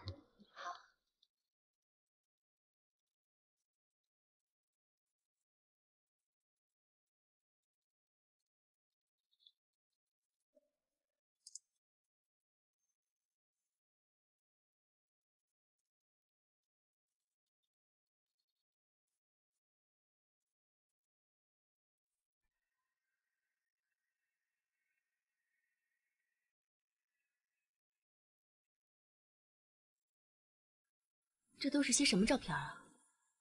杨科长送过来的，让我赶紧洗出来。慕容科长，一会儿你把胶卷放这儿吧，一会儿洗好了我给你送过去。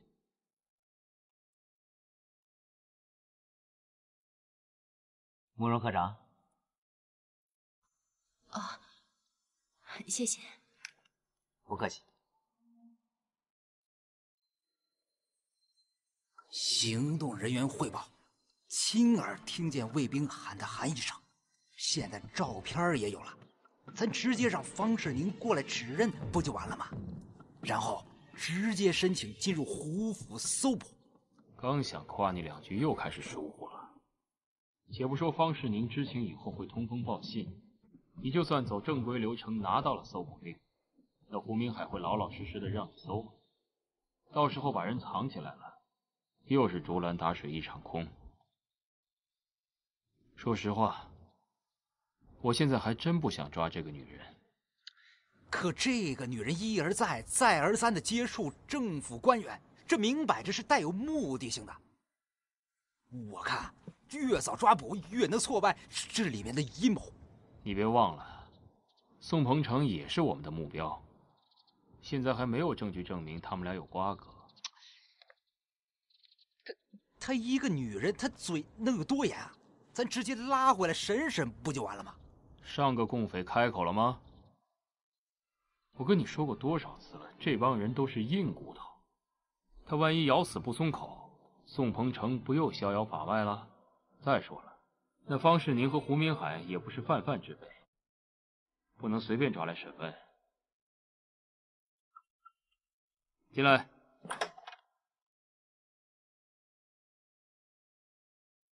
报告，照片洗好了。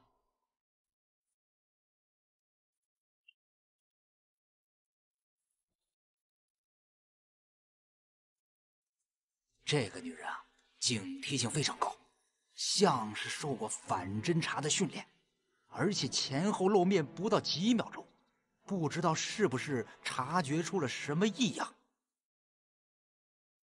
不管了，先抓起来。这人我肯定在哪儿见过。明白，我这就立马让行动科策划抓捕行动。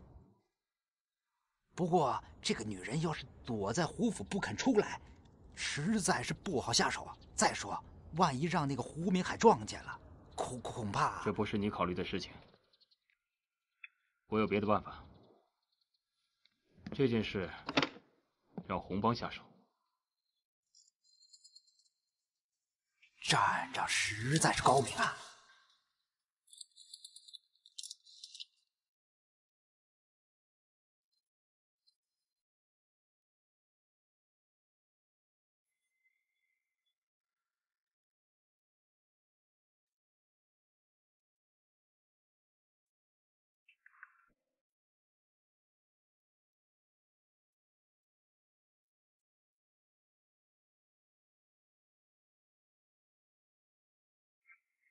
科长，这些文件需要您签字。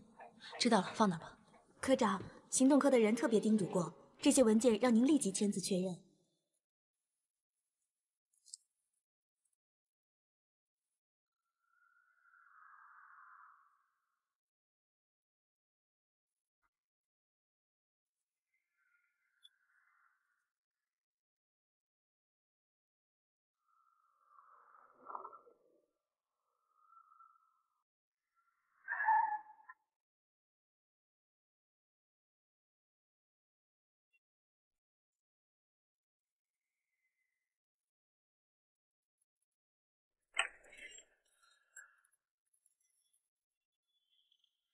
可是没想到，法官其实跟他之前的那两个仇人勾结，把他判为极其严重的政治犯，关进了监狱。哎，这也太不公平了！他不过去送了一封信，这怎么也算不上是犯罪啊？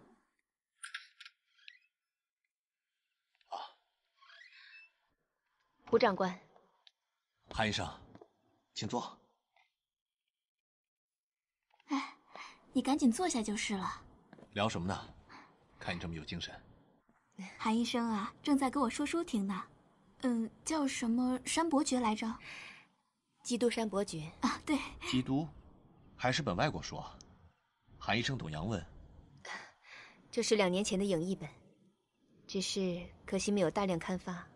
我也是有幸在一位病人家读过。啊，没有政治内容吧？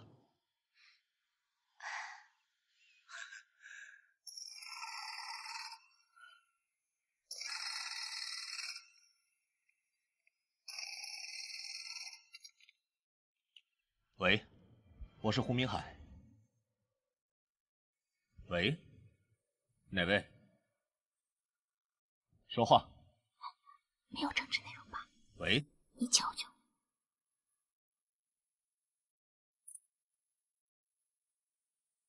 哎呀，行了行了，你赶快回来吧！真是的，别老打岔。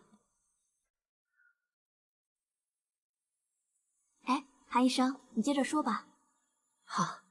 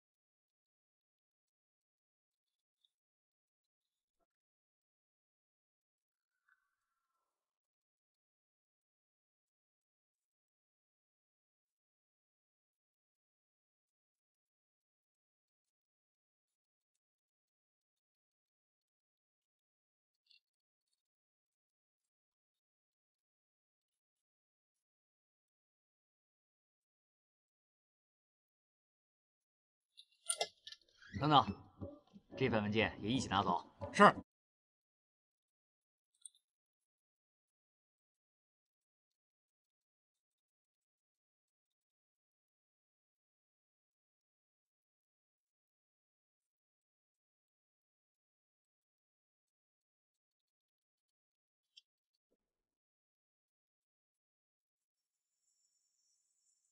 这看来呀，还是有好人的。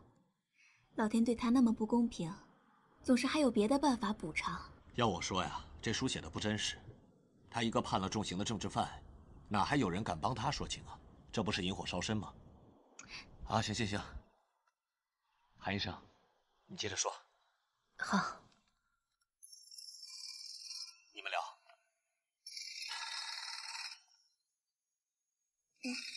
韩医生。你说，这一个人在监狱里待了十几年，那他出来还能活吗？虽然他的身体被囚禁了，可是他的信念没有被熄灭。我想，这就是他活下去的原因吧。好，我马上过来。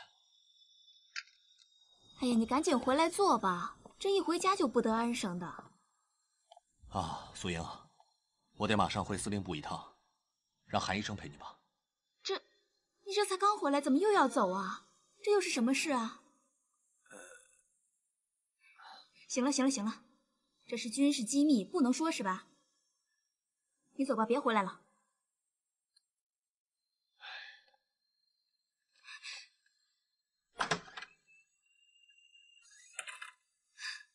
你看看。他这不是存心气我吗？所以我说，这嫁人千万不能嫁给当兵的。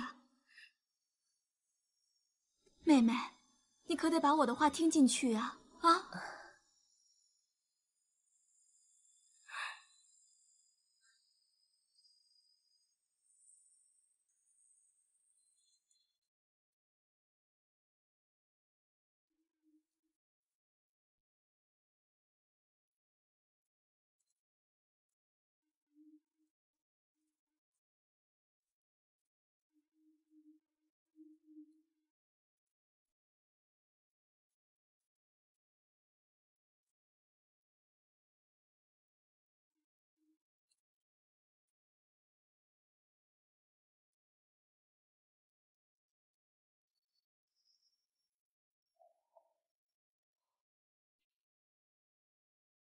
再快点！是。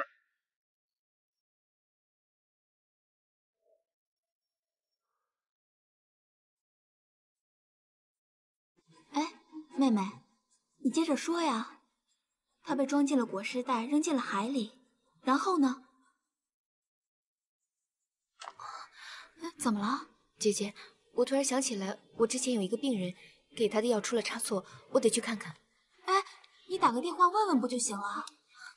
穷人家哪有电话呀？我还是去一趟吧，一会儿就回来。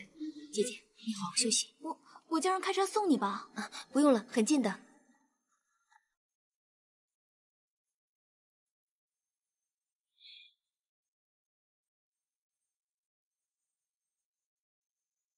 这么可怜，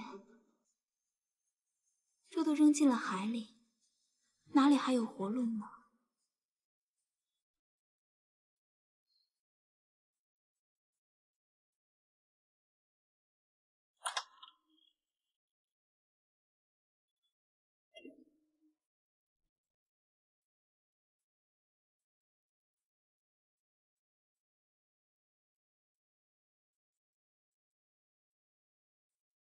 是这个女的吗？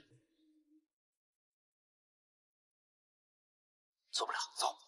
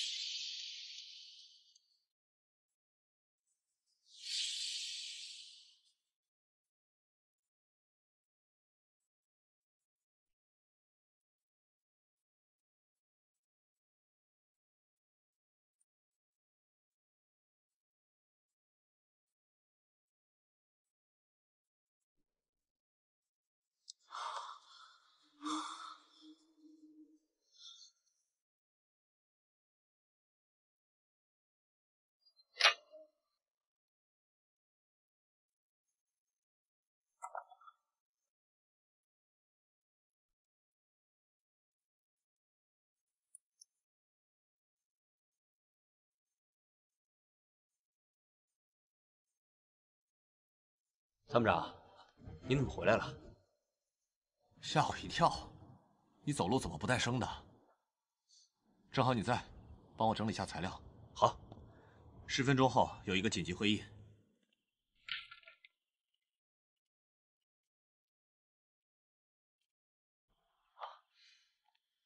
不用了。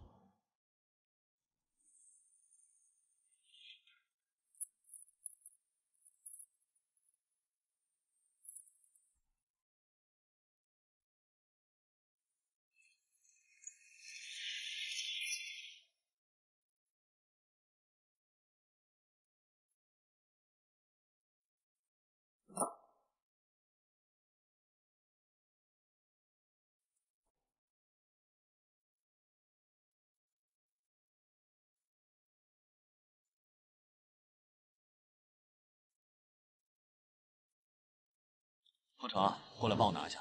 哎，来，参谋长，你把陈放东都走了？是啊，昨天那番折腾，搞得我心神不宁的。想了想，就换了个地方，全天有人看守。你怎么了？啊，没什么。啊。把最近三天的调度报告找出来，一会儿要用。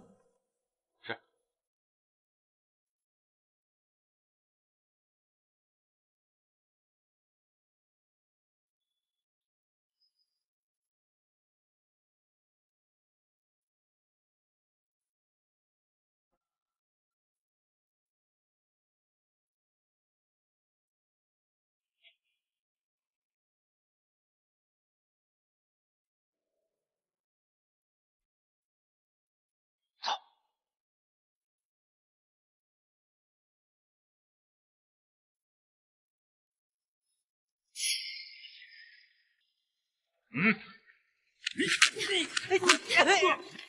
动！是什么人？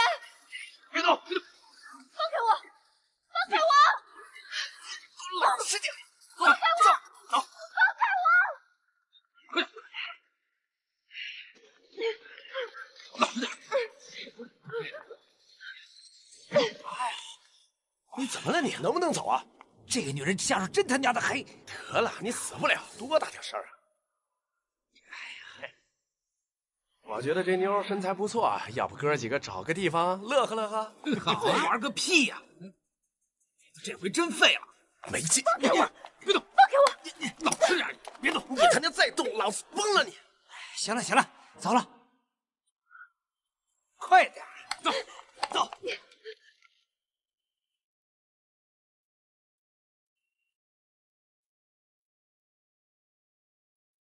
快快快，快点，快快走，快！停！又怎么了？我怎么感觉有点不对劲儿啊？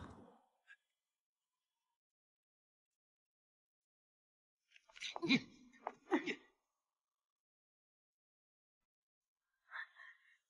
别动！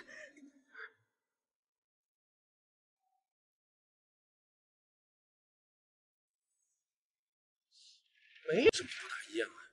大惊小怪，走！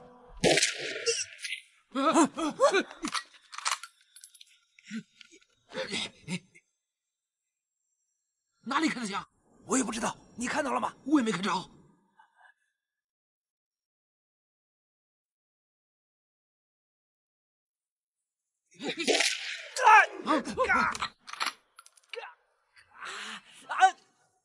啊！啊我受不了了，我走了。哎，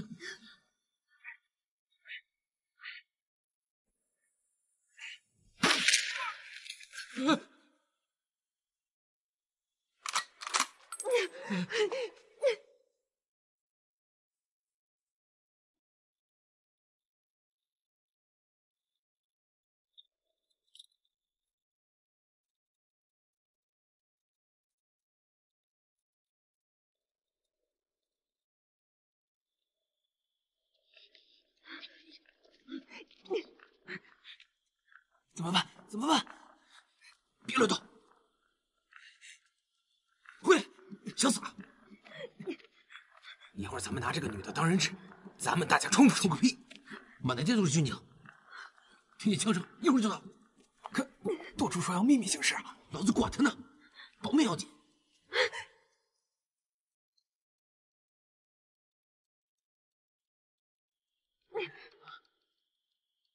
快躲起来，有狙击手！你们是什么人啊？自己人，自己人，我们替保密局秦站长办事的。我就是保密局的，他又是谁啊？秦站长让我们抓的，半路出了岔子。别动！这样僵持下去也不是办法。我的车就在路口，你们带着他先上车，我掩护。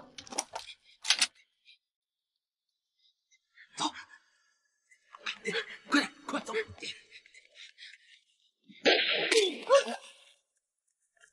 别动，把枪放下，要不然我杀了他！放下！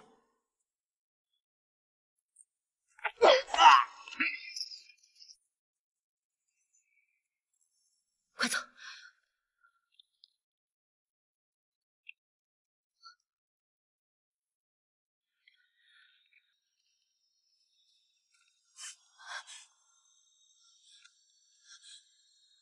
慕容姐，你是不是疯了？为什么不在胡明海家好好待着？说话呀！恒辰哥有危险，快去城防司令部救他！他正在胡明海办公室里盗取城防图，而胡明海已经接到命令，正往回赶。所以，你是想去警告他？你以为司令部是你家后院吗？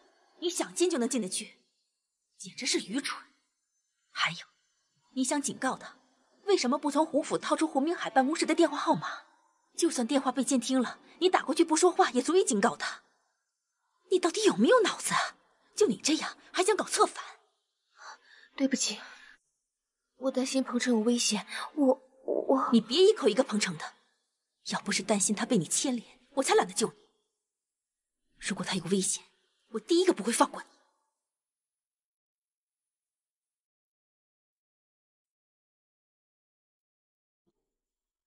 这半年来，你和我表哥到底有没有联系？我真的不知道他也在武汉，我们见面纯属巧合。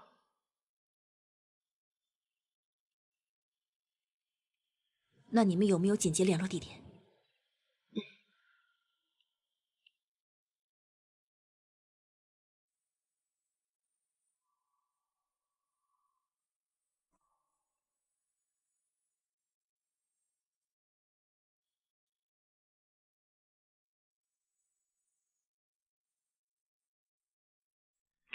站长，从现场来看，都是中枪而死，但伤口明显不同。由此发现，凶手很有可能是两个人。军警从听到枪声到赶赴现场，大概用了七八分钟，但凶手早已经逃的是无影无踪了，而且没留下任何一个活口。那个大夫呢？没看见啊，有可能被救走了。也有可能压根儿就没抓到。站长，咱们该怎么跟红帮交代啊？交代个屁！现在都没工夫搭理他们。这么大动静，附近一定有不少目击者。带人给我挨家挨户搜，不能落下任何线索。是。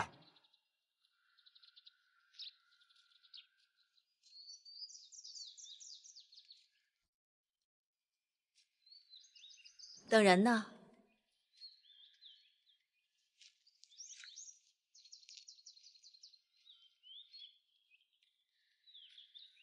这里春光明媚的，倒是个接头的好地方啊。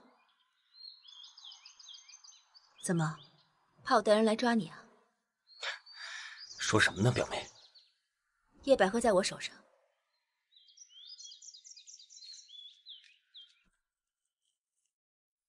还愣着干什么？不想见见你的百合妹妹？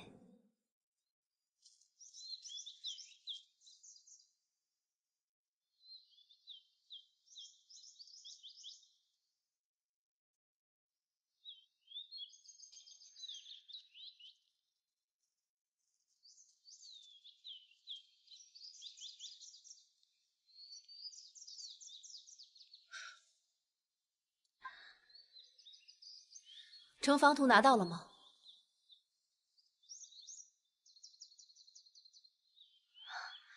我昨天遭人挟持，是慕容姐救了我。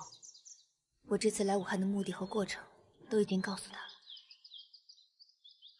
城防图被胡明海转移走了，现在有专人轮班看守，我怕没有机会再接见了。你现在留在武汉没有任何意义，我会想办法把你送走。一定还会有办法的。如果就这么放弃的话，那袁博的死就……你们两个，一个医生，一个当兵的，要是连你们两个都能偷到城防图，那还要专业的特工干什么？袁博真是昏了头了，怎么会选你做搭档？表妹，不是故意瞒着你的。原来我只打算救袁波，后来的事情你也清楚。你一直在秦凡达身边工作，我怕你知道了会有危险，我不想让你受到任何伤害。慕容姐，你刚刚说的对，我们俩都不是特工。可是，如果你肯帮忙的话，也许还有一线的希望。仗打到这个份上，实在是没有必要再做牺牲了。你们给虎子取名为志和，不就是希望早日和平吗？如果武汉城燃起战火，肯定会生灵涂炭的。我可以帮忙，但是有一个条件：一旦所有的事情都尘埃落定，你必须立刻带我和志和去檀香山。这是你答应过我的。我答应的事情，一定会做到。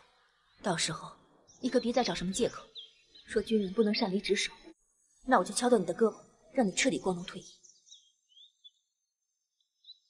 那边树林的尽头有一间小木屋，可以暂时藏身。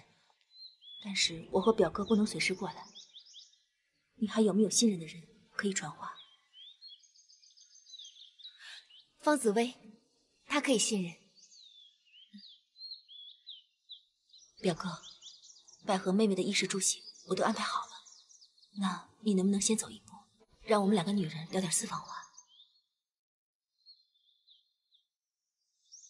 好，那你们慢慢聊。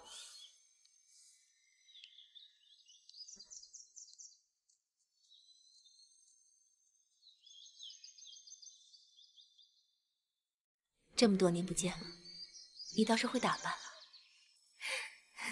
谢谢慕容姐，不过我真的没有想到你会这么轻易答应帮我们的忙。你可别想错了，我这么做都是为了表哥。跟他一起生活这么多年了，他那点心事我还不知道。只要你不肯走啊，他就会硬着头皮帮忙到底。而且，秦凡达已经注意到你了，就凭你们两个人，活不了多久。啊，慕容姐。我一直忙着完成自己的任务，都没有细了解你的情况。你们俩怎么样？发展到哪一步了？小木屋就在前面，别磨蹭了，快走吧。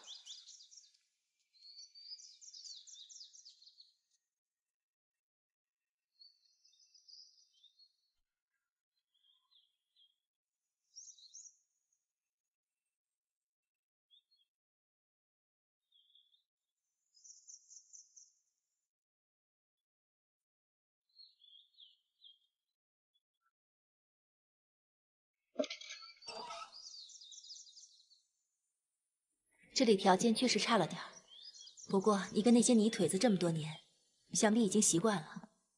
一会儿我去车里给你拿些生活必需品。这已经挺好的了，慕容姐，谢谢你。坐下说话吧。